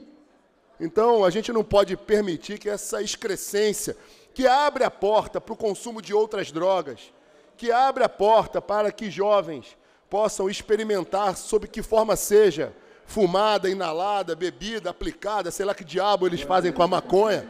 Lógico, deputado Mink, lógico. Muito curto, porque eu já falei muito com a condescendência da, da presidenta Tia Ju, muito carinhosa sempre. E, portanto, não repetirei o que eu já disse. Mas sobre a sua argumentação, queria dizer só duas coisas. Primeiro, nós estamos falando do CBD, o canabidiol, que não dá barato e que a Anvisa permite e que nós compramos nas farmácias. Vossa Excelência, se estiver nervoso por causa das críticas do PSOL, por exemplo, pode ir numa farmácia e comprar, mas ele provavelmente será importado. Então, a gente está gerando emprego e renda e tecnologia em outro país. Então, nós estamos falando, eu quero dizer que o que o deputado Tandy falou é exatamente o que eu acho. E lembrar Vossa Excelência que Vossa Excelência estava na CCJ quando votou favoravelmente ao substitutivo do deputado Luiz Paulo, que com seis emendas deu favorável, com emendas concluindo para o substitutivo. E Vossa Excelência, na época, até falou: isso não é maconha, isso é remédio, é remédio. É o que consta no substitutivo do deputado Luiz Paulo. Então, lembrando a Vossa Excelência que Vossa Excelência votou favorável a substitutivo, mas claro, aqui no plenário é uma discussão do mérito, não é a mesma da discussão da constitucionalidade. Então, Vossa Excelência é livre para externar a posição que está externando. Então, só para dizer o seguinte: nós estamos falando de remédios autorizados pela Anvisa, receitados por um médico, para aquela patologia, e que hoje existem nas farmácias. Então, é desses que a gente está falando, desses que a gente está falando, e se a gente não avança nessa linha, outra coisa, essa discussão foi superada porque o Rio de Janeiro tem uma lei pioneira que fala do cannabis medicinal, que é o CBD. CBD, não é o THC, que é o princípio ativo que dá um barato, é o CBD, que é o princípio de vários remédios que qualquer um de nós pode ir na farmácia e comprar, só que 90% deles são produzidos em outros países. Vossa Excelência tem ideia de quanto os Estados Unidos está ganhando em bilhões pela comercialização é, da cannabis me, me, medicinal. Então, a gente está falando de saúde, mas também de indústria, de emprego e renda. Eram essas breves considerações que eu ia fazer a Vossa Excelência, que sei que, na hora de votar, votará com a saúde e através de emendas, tirando a possibilidade daquilo que Vossa Excelência teme, e ideologicamente tem a sua razão de temer, mas que não é o objeto desse projeto. Obrigado pela parte. Sempre. Deputada, para concluir, o engraçado quando eu falo que são lobos em pele de cordeiro é exatamente isso. Se mostram preocupados com a indústria e com a geração de emprego. E aí, quando a gente traz uma discussão para autorizar a fabricação e a comercialização de armas no Rio de Janeiro, que para os que não sabem, a indústria de armamento é uma siderúrgica que fabrica componentes que vão muito, muito além das armas fundamentais para o desenvolvimento, para a geração de infraestrutura, inclusive é, industrial no Rio de Janeiro, e eles não se preocupam com isso. Ou seja, se utilizam da mesma narrativa quando lhes convém. O deputado que falou anteriormente tem um projeto de lei que em breve será revogado nessa casa, que é o da escola com mordaça, onde ele defende, defende abertamente que os jovens que estão em processo de lobotomização não podem, ao se defender, filmarem o professor lobotomizando-os. Mas, ao mesmo tempo, defende que o policial, no exercício legal da sua função, reagindo muitas vezes a injustas agressões, possam utilizar o mesmo equipamento de fotografia e de filmagem. Ou seja, é contradição em cima de contradição. Fique tranquilo, deputado Min, quando algum deputado do PSOL me tirar do sério. Aliás, o PSOL costuma me tirar do sério, mas mantém muito mais a coerência que o PT, por exemplo, que nas discussões municipais o PT fugiu, porque aceitou boquinha do governo Eduardo Paes. O PSOL se manteve ali firme na vertente ideológica e no diálogo. Mas as discussões, de fato, me tiram do sério algumas vezes, sob ponto de vista ideológico, de é, argumentação aqui daquelas bandeiras que nos elegeram, a bancada conservadora, a melhor, aliás, a, a maior bancada dessa casa, dois terços dessa casa é conservadora. Então, eu nunca usarei qualquer tipo de substância dessa aí não, deputado Mink. Aliás, eu nem sei o que é ter barato, porque em 44 anos de idade me orgulho de jamais ter experimentado maconha em qualquer do seu formato.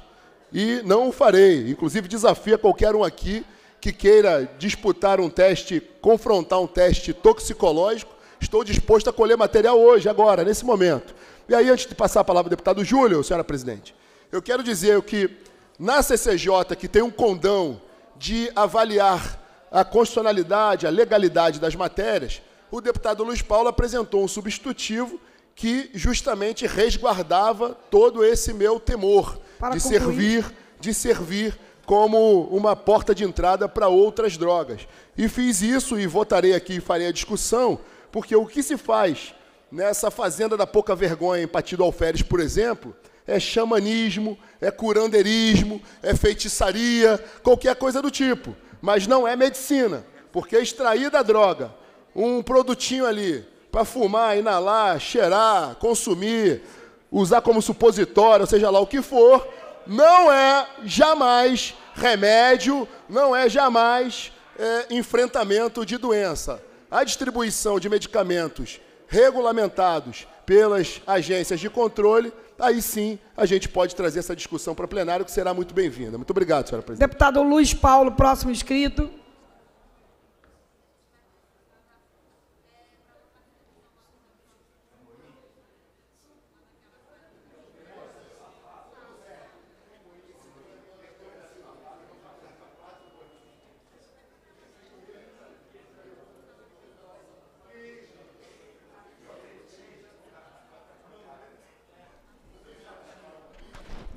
Senhora presidente, deputada Tia Ju, senhoras e senhores deputados, estamos discutindo e declarando voto ao projeto de lei 3019 de 20, de autoria do deputado Carlos Mink, que dispõe sobre o fornecimento da cannabis para fins medicinais em todas as unidades de saúde pública conveniadas ao Sistema Único de Saúde SUS no Rio de Janeiro.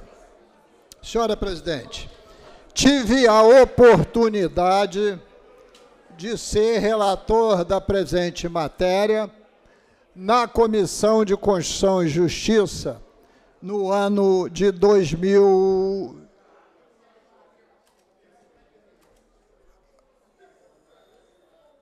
e 2022, 2022.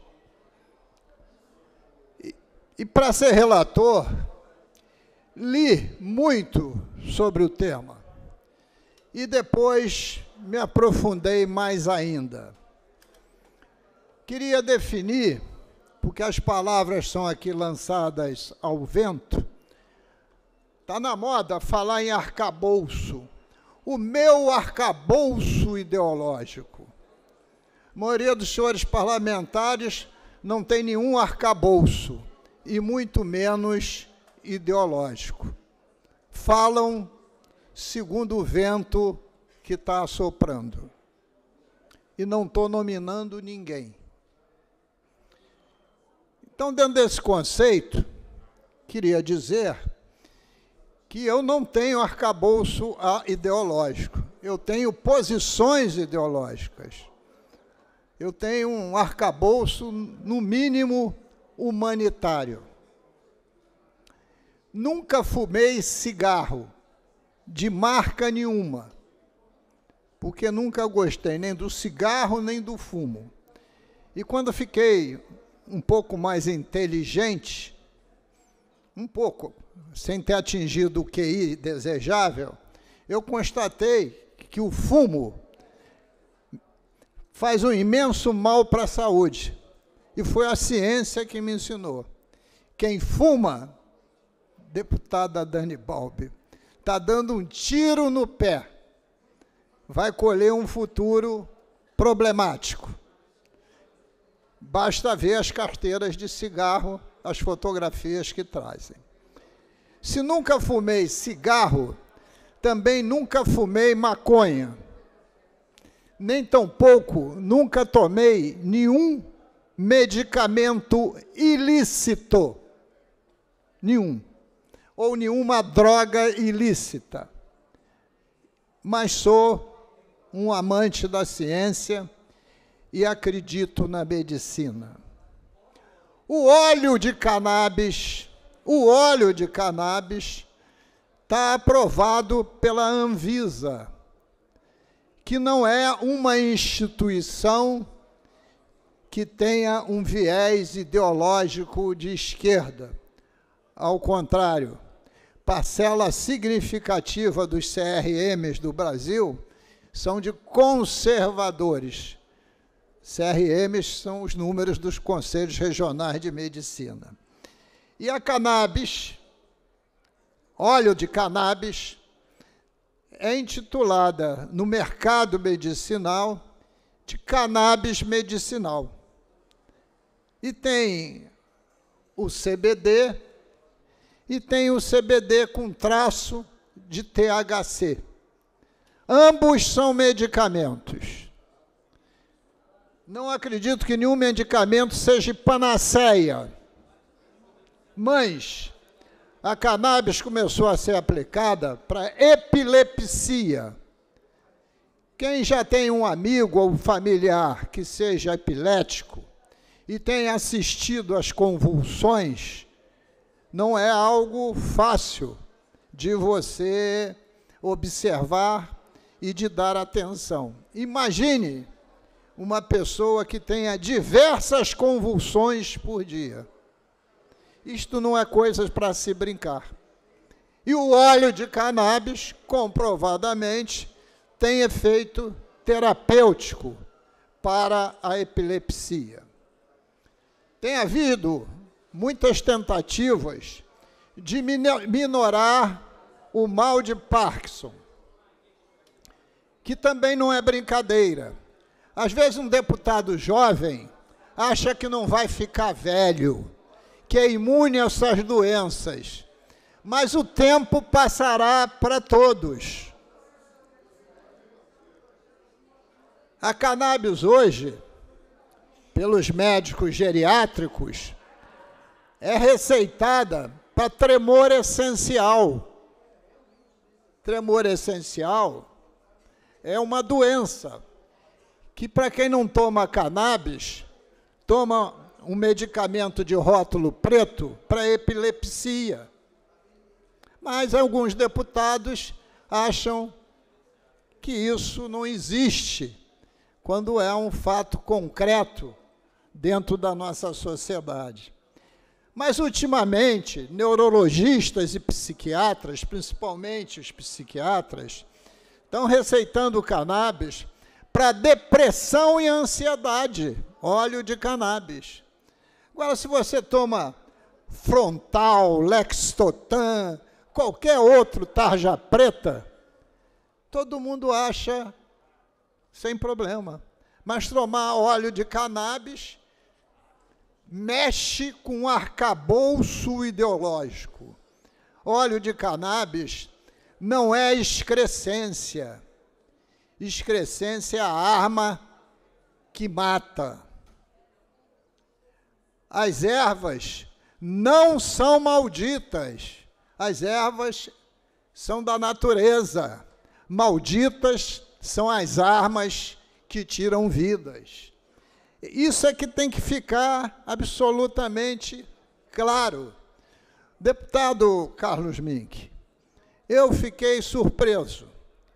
Não está aqui hoje o nosso deputado de Volta Redonda, o Neto.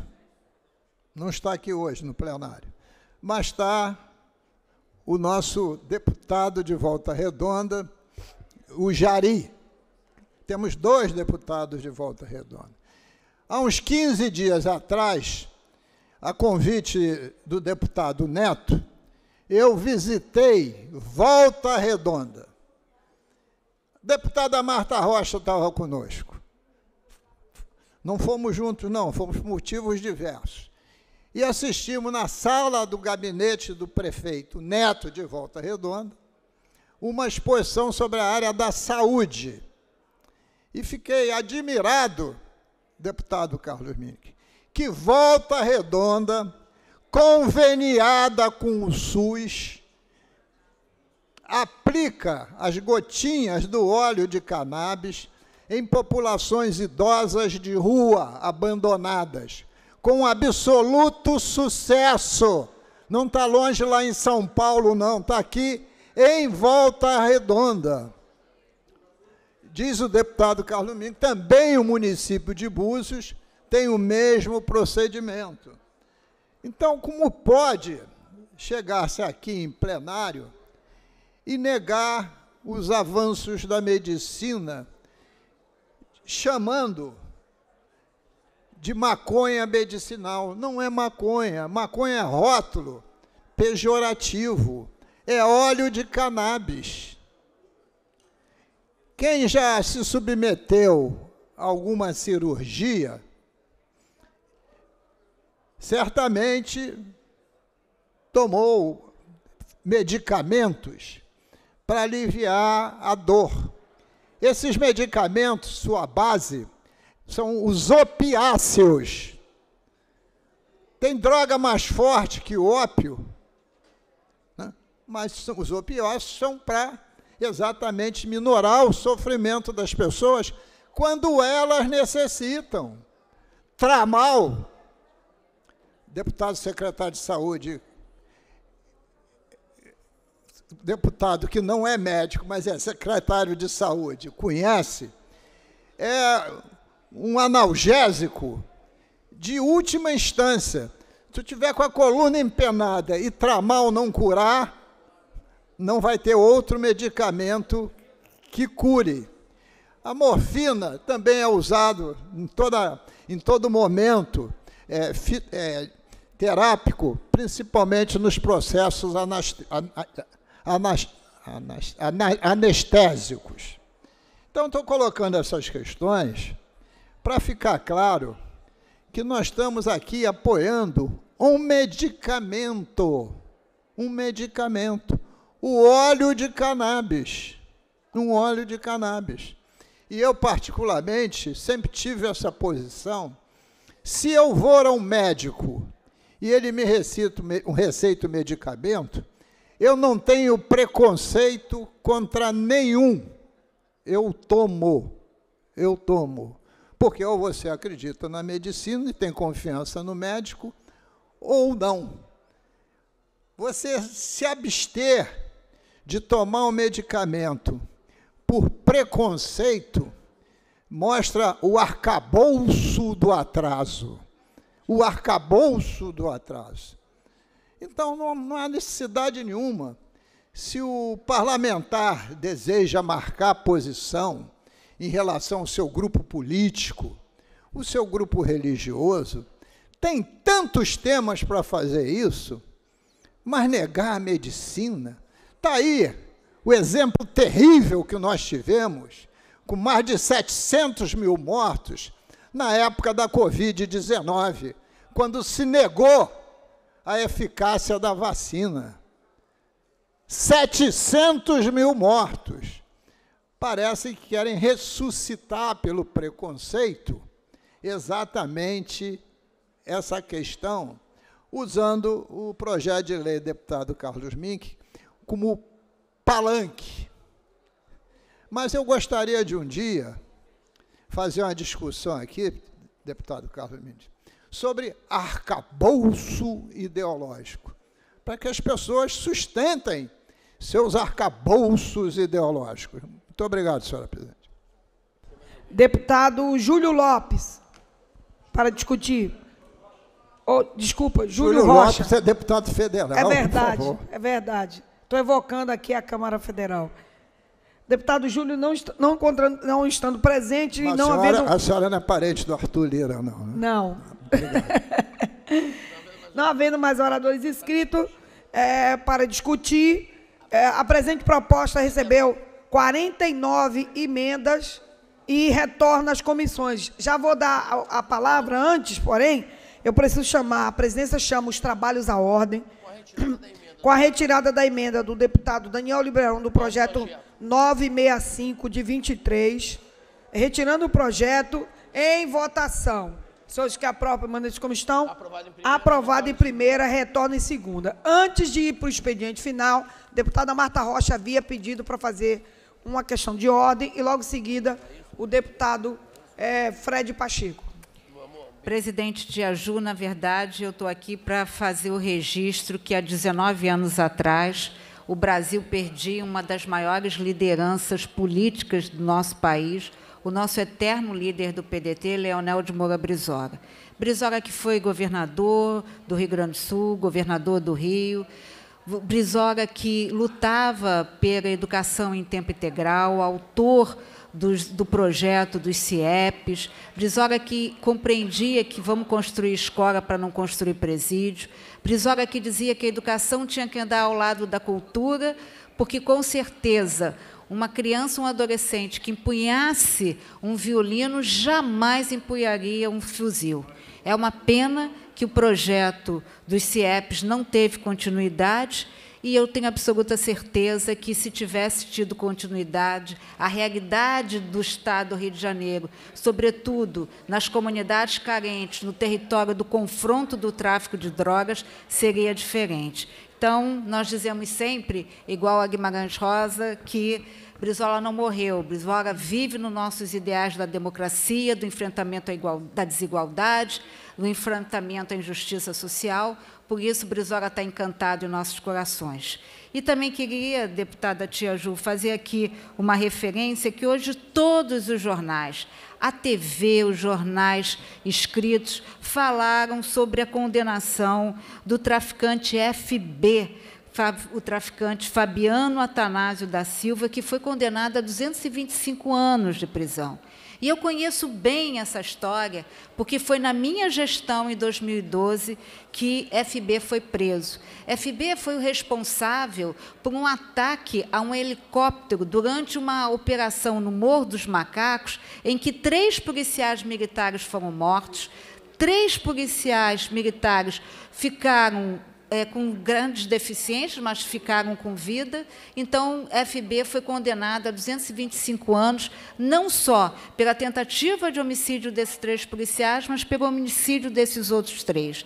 E na sentença da juíza, ela faz uma descrição muito presente, muito firme, lembrando aqui que esse ato comandado por FB ele, na verdade, ele enfrentava é, não só o simbolismo do, do que era a, a, o domínio do tráfico de drogas, mas ela também o condenou por terrorismo. E FB saiu do Complexo do Alemão, porque ele era do Complexo do Alemão, naquela cena, que foi uma cena histórica, né, de vários criminosos que saíram fugidos do Complexo do Alemão. E, exatamente na minha gestão, em 2012, FB foi preso na cidade de Campos do Jordão, sem ser disparado um único tiro. FB, naquele momento, em 2012, exatamente 11 anos atrás, FB pagou de aluguel, numa casa em Campos do Jordão, o valor de 18 mil reais. E FB, desde o momento da sua prisão até os dias de hoje, foi transferido por um, por um presídio federal e foi e assistiu à audiência de instrução e julgamento no Tribunal do Júri, onde ele foi condenado por audiência remota. Então, isso é uma prova de que é possível, sim, ter uma polícia eficiente, forte, que com resultados, quando a gente investe em tecnologia e também investe em inteligência, que foi o caso que aconteceu da prisão do traficante FB. E não quero terminar minhas palavras sem deixar aqui o meu fraterno abraço à equipe do delegado Anternor Lopes, que naquele momento estava na 25DP e que foi autora dessa prisão. Obrigada, deputada Tiaju. Deputado Fred Pacheco. Muito rapidamente, Tia Ju, deputada Tia Ju, eu gostaria de fazer apenas uma consideração sobre o projeto de lei ainda 3019 de 2020 do deputado Carlos Mink, dizer que eu também acho meritório o, projeto. É importante deixar bem claro que o deputado Tandi reforçou a questão que me preocupa, que nós estamos falando evidentemente de um medicamento. Não é? Então, é preciso que se torne, que deixe isso bem claro. Não é? Nós estamos falando de um medicamento que regulamentado pela Anvisa e por isso mesmo pode ser é, absolutamente e deve ser absolutamente é, também distribuído pelo SUS. Então, nós vamos lutar cada vez mais para que a, a, droga seja cada vez mais excluída, mas que o medicamento seja de forma correta, seja distribuído de forma correta, para que as pessoas possam ter acesso. E falo em nome, principalmente, como presidente da Comissão da Pessoa com Deficiência. Nós recebemos relatos todos os dias da, de pessoas que sofrem cada vez mais com síndromes e doenças que podem ser também controladas através do medicamento. Portanto, nós somos favoráveis a, ao projeto quando falamos de um medicamento controlado. Não é? E, nesse sentido, aqui gostaria de deixar aqui a minha posição e meu voto favorável. Uma outra questão de ordem, rapidamente também, eu queria aqui um, uma solidariedade sobre a questão dos dois jovens católicos que foram assassinados lá no município, na escola estadual, no município de Cambé, em Londrina.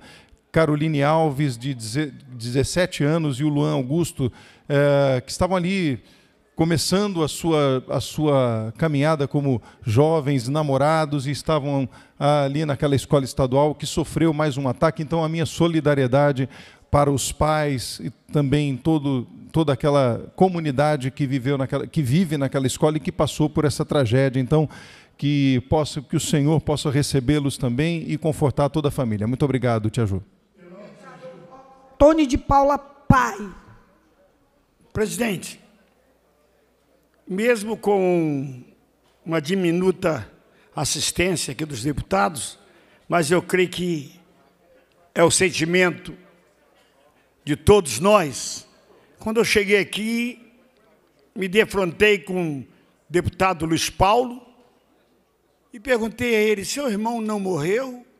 Ele morreu. E foi enterrado agora às 14 horas e 30 minutos. E isso me comoveu, presidente. O fato do deputado Luiz Paulo enterrar o irmão às 2 horas e 30 minutos e ele está aqui presente na sessão, não é? Claro, enfrentando a vida com os seus desafios que a vida tem, e eu gostaria, nesta hora, me solidarizar com o deputado Luiz Paulo por esse sentimento familiar, mesmo com pouca assistência dos deputados, solicitar um minuto de silêncio em memória do senhor Mauro Rocha, irmão do deputado Luiz Paulo, pelo seu falecimento, e ele que foi enterrado na tarde de hoje. E me solidarizar e manifestar a, a garbosa coragem do deputado Luiz Paulo enfrentar esse momento tão difícil. E eu gostaria de pedir um minuto de silêncio.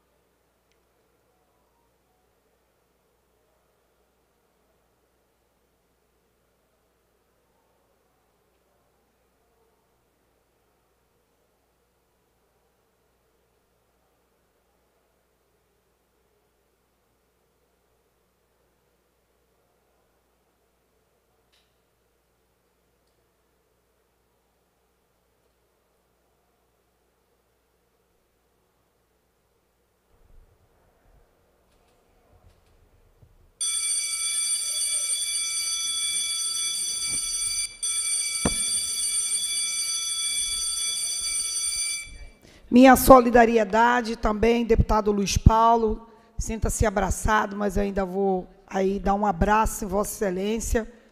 Nós sabemos que é, a morte é, é o caminho de todos nós, mas é sempre muito dolorido perder alguém. Muita força, sei o quanto Vossa Excelência é forte, mas fica aqui o nosso sentimento. Obrigado, deputado Antônio de Paula, pela lembrança. Nós precisamos ser solidários em todos os momentos, principalmente com aqueles que estão no dia a dia conosco, é, que, que comunga conosco. A gente passa mais tempo, acaba passando mais tempo com os colegas do que com as nossas próprias famílias. Nada mais havendo a tratar na ordem do dia, passa o expediente final. Primeiro orador inscrito é o nobre deputado Luiz Paulo. Vossa Excelência dispõe de 10 minutos no tempo regimental.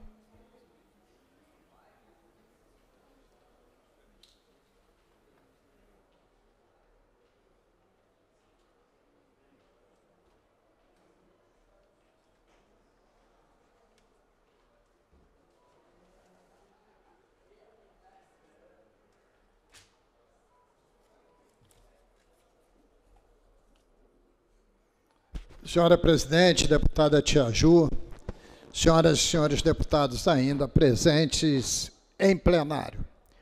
Hoje, a Agência Nacional de Petróleo marcou e realizou uma audiência pública para discutir a revisão da resolução ANP número 874 de 22, que regula o preço de referência do petróleo para que aconteça os repasses aos estados e municípios das participações governamentais. Audiência pública que vem sendo postergada, sofrendo diversos entraves, função dos interesses das concessionárias de petróleo do Estado do Rio de Janeiro e de outras unidades federativas, principalmente a Petrobras.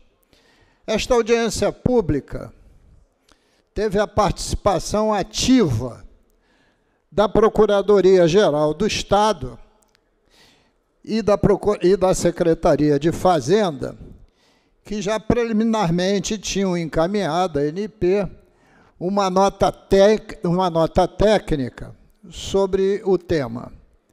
E, ao mesmo tempo, antes da audiência pública, data que terminou há uma semana atrás, Aqueles que desejassem podiam se inscrever e mandar sugestões de alteração na resolução NP 874 de 22. E por que dessa importância desta audiência pública e da revisão da resolução 874 de 22? Primeiro, registrar que uma audiência pública desta relevância deveria ter sido presencial e não remota como foi. E eu queria, antes, dando satisfação ao parlamento, dizer que, como deputado estadual, me inscrevi, dei sugestões e também lá, com através de inscrição prévia, me habilitei a participar durante dez minutos. Fui o quinto a falar. Mas fiquei. Antes de entrar na fala, queria fazer um histórico. A lei de petróleo, lá dos idos de 98, estabeleceu que deveria ser considerado o preço, o preço de petróleo de cada campo para que se definisse os repasses de royalties participação especial. Entende-se, ou deveria se entender, com o preço de cada campo o preço real, isto é, aquele que efetivamente fosse praticado pela empresa petrolífera. Entretanto, o histórico mostra que as empresas petrolíferas não agiram assim, isto é, agiram à revelia do que determina a lei do petróleo. Tanto é verdade que os preços de definição das correntes de óleo foram manipulados ao longo dos anos. E, do, por, como exemplo, a Petrobras, que no ano de 16, 17, descobrimos que vendia petróleo para as suas coligadas no exterior a preço menor que do mercado, declarava esses preços à ANP para o cálculo das participações governamentais. E a sua coligada, por exemplo, a da Holanda, vendia a preço de mercado. Burlava os repasses das participações governamentais para o Estado e para os municípios, como burlava também o próprio imposto de renda Denunciamos isso fortemente. E calculamos a época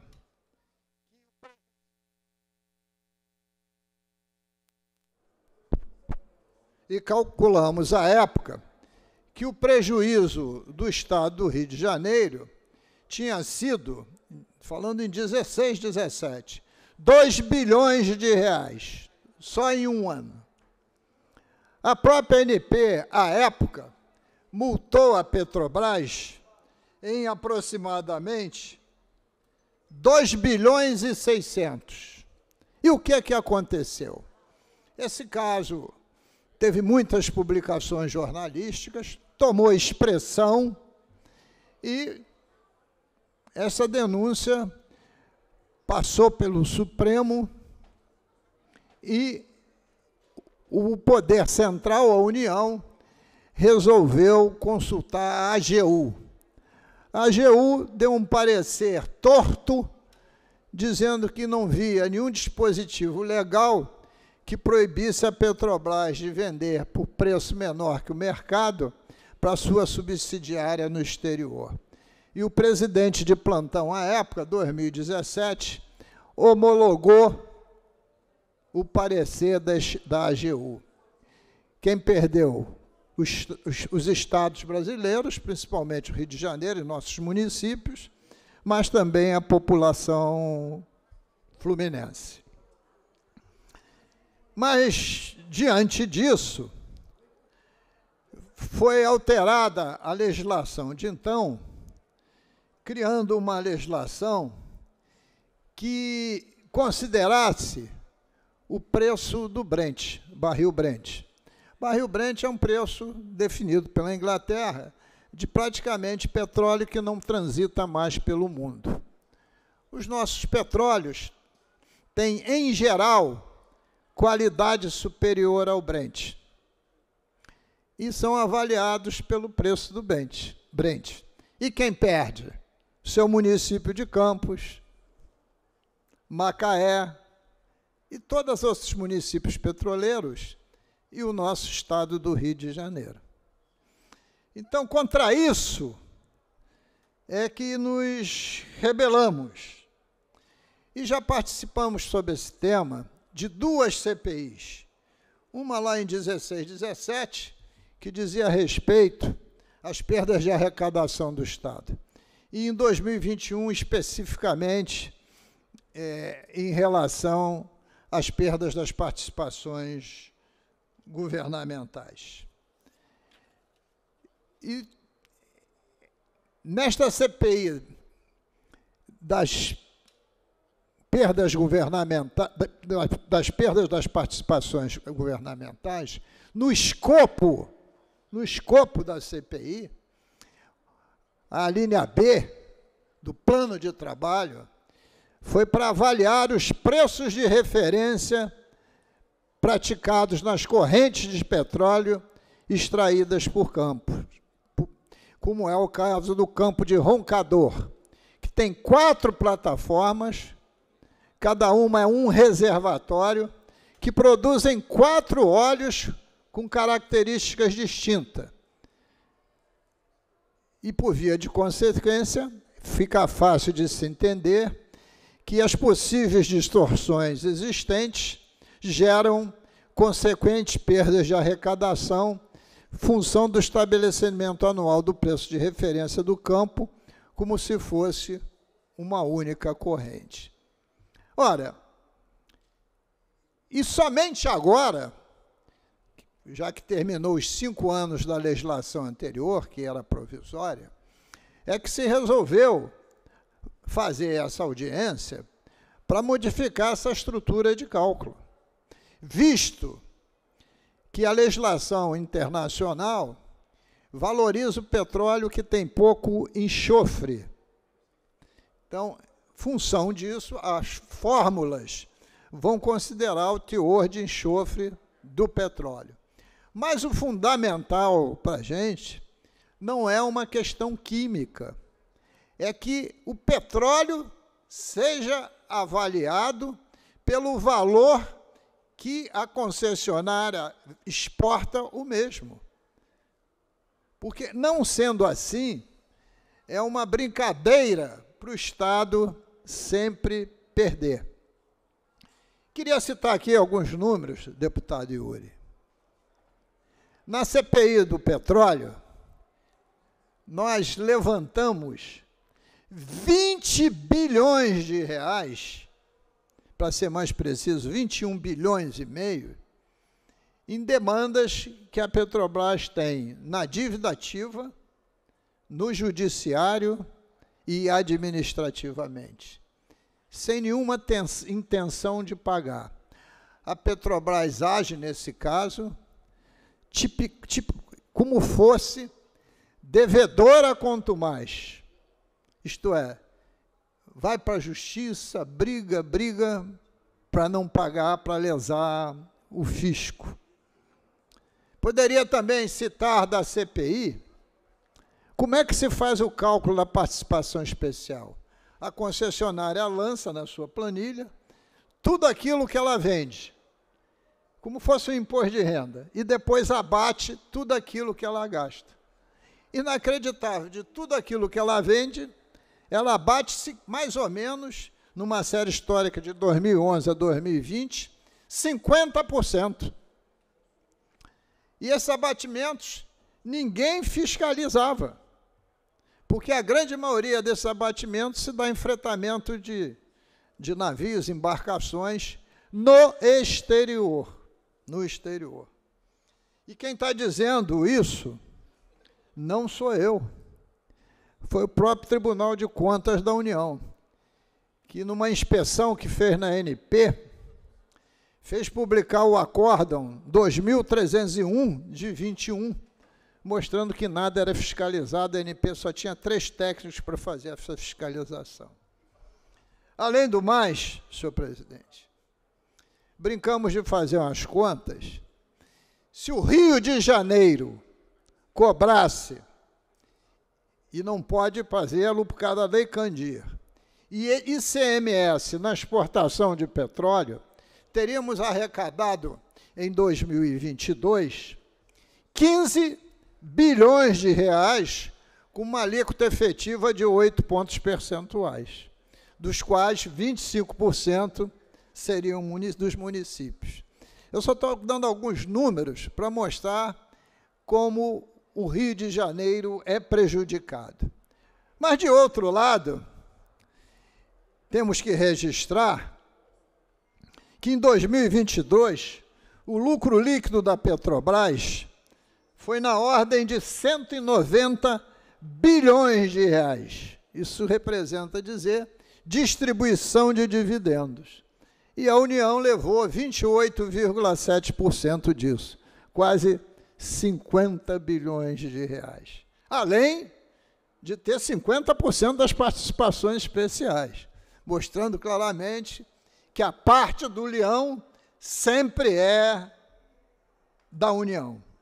Por isso, senhor presidente, é que preconizamos que a metodologia atual é, seja alterada, a metodologia atual definida pela resolução ANP 874 de 2022. Porque no barato estamos perdendo de receita, no mínimo, 10% ao ano. E quero dizer a Vossa Excelência que fiquei orgulhoso de participar dessa audiência pública, porque a Procuradoria-Geral do Estado, através do procurador Paulo Henrique, fez uma defesa irretocável sob o ponto de vista jurídico e técnico. E a, a superintendente da Fazenda, Liliane Figueiredo, transformou isso tudo em números, mostrando os prejuízos que vem sofrendo o Rio de Janeiro. Então, fizemos um pouco lá esta defesa e, além, além do mais, protocolamos, já havíamos feito, quatro propostas de modificações na NP 874 de 22, na defesa do erário fluminense. Muito obrigado, senhor presidente. Muito obrigado, deputado Luiz Paulo. Próximo orador inscrito é o deputado Tiago Rangel.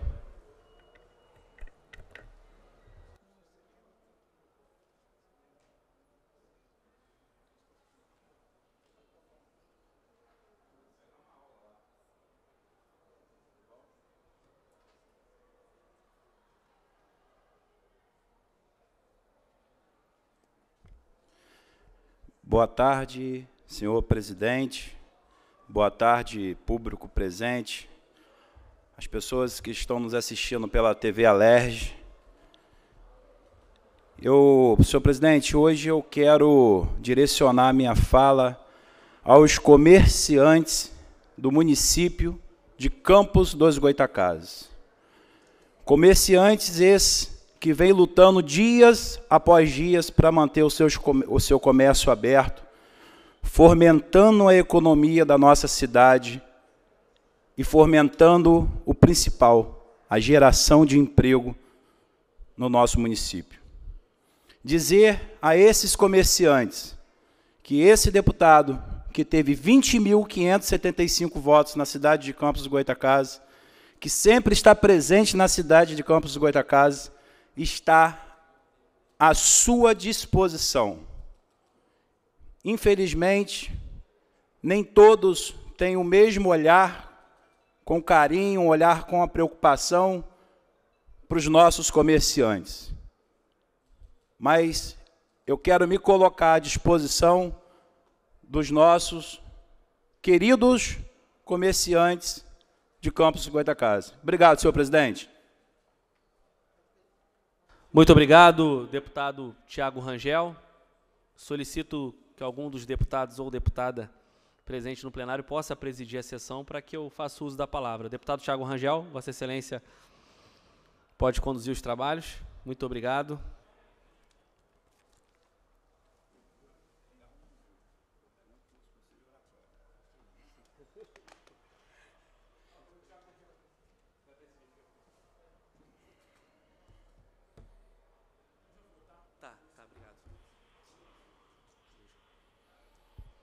Muito obrigado, senhor presidente. Bom, eu queria, antes de tudo, parabenizar a comunidade do Oswaldo Cruz, conhecida como Canto do Cemitério, lá em Petrópolis, uma comunidade muito querida, muito amada, que tem uma história de luta comunitária e também uma história no samba e no carnaval de Petrópolis. Deixar um abraço para o Reinaldo, o rei, que é o presidente da Associação de Moradores, toda a sua diretoria, e que conseguiu reinaugurar a quadra do Grêmio Recreativo Escola de Samba Oswaldo Cruz, a qual tenho a honra de fazer parte ali como apoiador. A gente conseguiu fazer um mutirão com a comunidade, muita gente apoiou. Agradeço também à Prefeitura Municipal de Petrópolis, ao vereador Léo França, ao prefeito Rubens Montempo, por esse esforço conjunto que fez com que o samba que nunca morreu pudesse voltar a ter o seu templo naquela comunidade. Foi inaugurado no último domingo, milhares e milhares de moradores e moradoras, e eu fico muito feliz de fazer parte dessa história. Um beijo, comunidade do Oswaldo Cruz, viva o canto do cemitério. Bom, mas nem só de notícia boa vive a nossa cidade de Petrópolis e o estado do Rio de Janeiro. Infelizmente, por mais uma vez, o governo do estado tentou retirar o direito de mais de 100 famílias que dependem do aluguel social em Petrópolis. Famílias vítimas da maior tragédia da nossa história que aconteceu no ano passado. Vocês devem ter acompanhado que desde que assumi nessa casa, tenho dito que existia uma resolução editada pelo governador Cláudio Castro que tirava o direito dessas centenas de famílias do aluguel social, mesmo ela não tendo para onde ir, mesmo elas só tendo risco como destino se não tiverem a política do aluguel social. O governador manteve a decisão da sua resolução, por mais que a gente denunciasse, oficiasse, por mais que as famílias buscassem o diálogo com o seu governo, mas infelizmente ele continuou dessa forma e as famílias ficaram quase quatro meses sem receber o aluguel social em Petrópolis, impedindo, inclusive, que o município pudesse pagar a parte dele por conta dessa ação do governador. Nós não desistimos, juntamos com os movimentos de moradia, conversamos com a Prefeitura de Petrópolis e a Prefeitura, por meio da sua Procuradoria, ingressou com ação na Justiça e venceu. Ou seja, nós conseguimos suspender a resolução 528 de março de 2022, que tirava o direito dessas famílias. Direito que foi prometido pelo Cláudio Castro na eleição, direito que foi garantido porque essas famílias chegaram a receber por vários meses, e direito que foi acordado, inclusive, perante o Ministério Público e a Justiça, com a presença da Prefeitura do Governo do Estado. Nós vencemos na Justiça e o governador Cláudio Castro foi obrigado a retornar com os pagamentos. Não satisfeito, o governador foi na sua procuradoria e entrou com um recurso. Impetrou um recurso contra a decisão favorável que a gente tinha conseguido na quarta vara civil de Petrópolis. E aí eu trago uma boa notícia. Antes disso, a má notícia, porque a boa sempre limpa a má notícia. A má notícia é que, de novo, o governador Cláudio Castro descumpriu o prometido com a família de Petrópolis e tentou retirar o aluguel social dessas famílias. E a boa notícia é que o Tribunal de Justiça cumpriu o seu papel. E nós tivemos uma decisão favorável que simplesmente não acatou esse recurso feito pelo governador do estado. E aí, eu quero lembrar que tramita nessa casa um projeto de decreto legislativo de minha autoria que suspende de vez essa resolução violenta, criminosa e absurda contra essas famílias. Porque quando o aluguel social foi implementado pós-tragédia de 2022 em Petrópolis, ficou pactuado que as famílias que recebiam até cinco salários mínimos, que é o padrão do aluguel social em qualquer lugar, teriam esse direito. E essa resolução do governador jogou para três salários mínimos. Excluiu principalmente servidores e servidoras, pessoas que recebem pouco, mas que perderam esse direito. E agora, com a decisão judicial, a gente reverteu isso. Mas eu tenho certeza que o governo do Estado vai continuar recursando.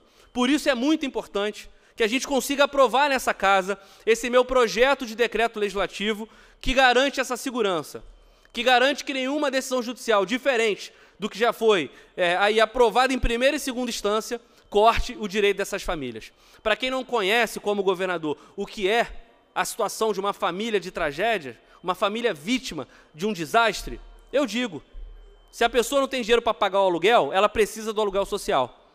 E se ela não tem a ajuda dos governos, ela volta para o risco. E se ela volta para o risco, ela pode morrer como centenas de pessoas morreram no ano passado em minha cidade e como outras centenas, infelizmente, seguem morrendo nas tragédias climáticas, sociais e por falta de habitação. Então, espero que o governador cumpra suas promessas. Retome com as sete obras que estão paralisadas e nem licitadas foram na nossa cidade, mas foram prometidas em campanha e foram reproduzidas por seus cabos eleitorais em Petrópolis.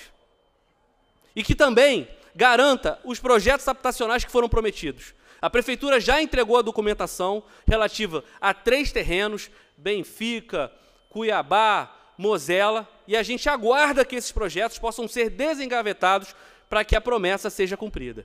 Enquanto isso, governador, não tente mais excluir famílias vítimas de tragédia do aluguel social. Porque Petrópolis tem um deputado, eu estou aqui, fui o mais votado na minha cidade e não vou deixar de defender o meu povo. E agora a gente teve a justiça do nosso lado. Então nós não vamos recuar, porque família vítima tem que ser respeitada. Família vítima merece dignidade. Família vítima merece habitação segura, habitação para ontem. Sendo assim, presidente, também quero reforçar o que falei em plenário.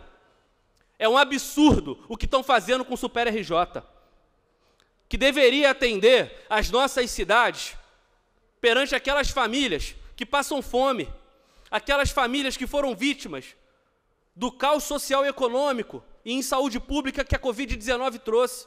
Foi por isso que a Assembleia aprovou esse programa. Aquelas famílias que também são vítimas de catástrofes e que podem ter o direito do Super RJ aquelas famílias que estão em extrema pobreza. É um absurdo um programa que deveria transferir renda, que deveria garantir comida na mesa, não ter um mínimo de respeito com seus beneficiários. Os beneficiários não sabem quando vão receber. Aí ontem, depois de muita pressão nossa, foi feito um pagamento. Mas aí o que, que aconteceu, deputado? Gente que não recebia há três meses recebeu, que bom, pelo menos recebeu esse mês, e gente que recebeu no mês passado não recebeu nesse. Eu te pergunto qual é o critério.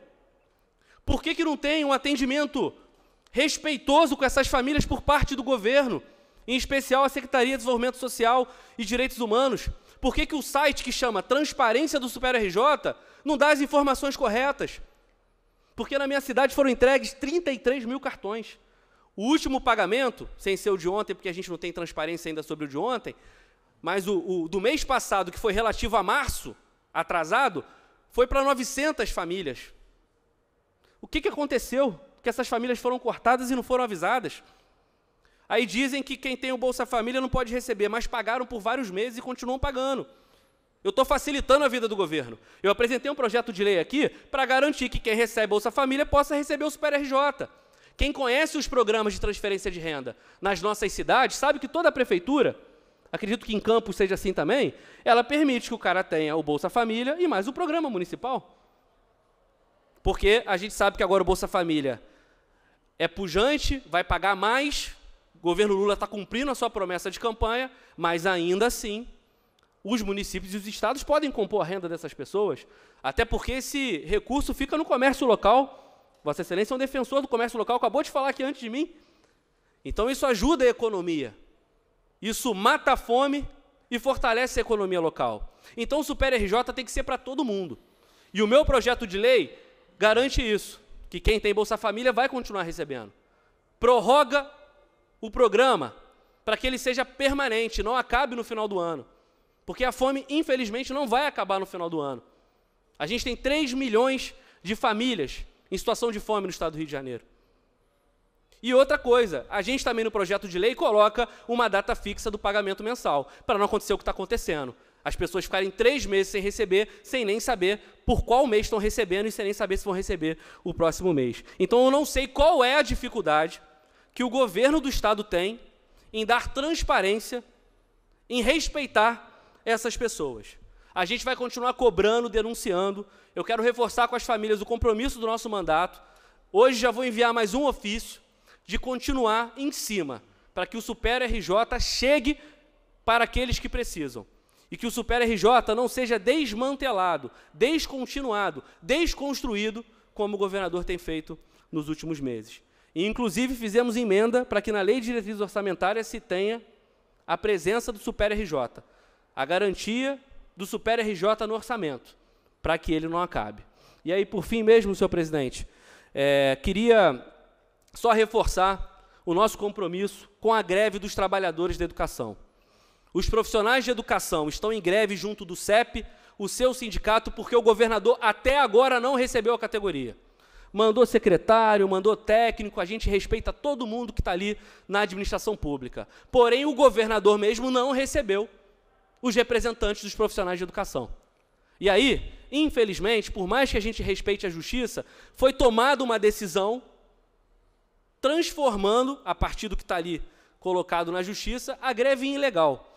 Eu não consigo entender como é ilegal o fato de professores e professoras que querem receber o piso se mobilizarem para isso. Gente, é o piso salarial. É uma lei federal que precisa ser cumprida e que o governador não está cumprindo. É uma greve que já se estende por mais de um mês.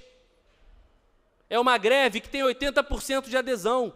É uma greve que não luta só pelos professores, mas luta também por aqueles profissionais administrativos, não docentes, como inspetores de escola, que recebem abaixo de um salário mínimo. Eu devo estar vivendo uma inversão de valores. Eu devo estar vivendo uma insanidade coletiva de achar que não é justo os professores e os profissionais de educação se mobilizarem. Eu sou professor e eu te garanto, se um professor recebe menos, ele tem que se dividir em mais escolas. E se ele não consegue escola na rede particular ou tem outra matrícula pública, ele vai ter que fazer outras coisas. Eu conheço professor que, além de dar aula em três escolas, faz Uber no final do dia. Sabe o que é isso, pai e mãe? Que ele, infelizmente, não vai conseguir gastar o tempo que ele quer gastar para planejar uma aula melhor que ele, infelizmente, não vai poder dar 100% do que ele tem para oferecer para o seu filho e sua filha, para que eles sejam educados com qualidade. Então, a defesa da educação pública é a defesa dos profissionais de educação. Cláudio Castro, impagável é o que você tem feito com as dívidas do Estado do Rio de Janeiro. Cláudio Castro, ilegal é a sua postura de não cumprir a lei do piso e de querer desrespeitar um PCCS com um decreto autoritário. Então, converse receba. Não recebe a oposição, não, não é isso que eu estou pedindo. Recebe o sindicato, que legitimamente, como nós que fomos eleitos pelo povo, é a representação dos profissionais. Nós não vamos desistir. Sindicato, segue firme. Categoria, não vai ter arrego. E eu tenho certeza que a sociedade está vendo que a nossa luta é pela educação pública de qualidade. Obrigado, presidente. Obrigado, deputado Euri. Não havendo mais orador inscrito, a presidência encerra a presente sessão.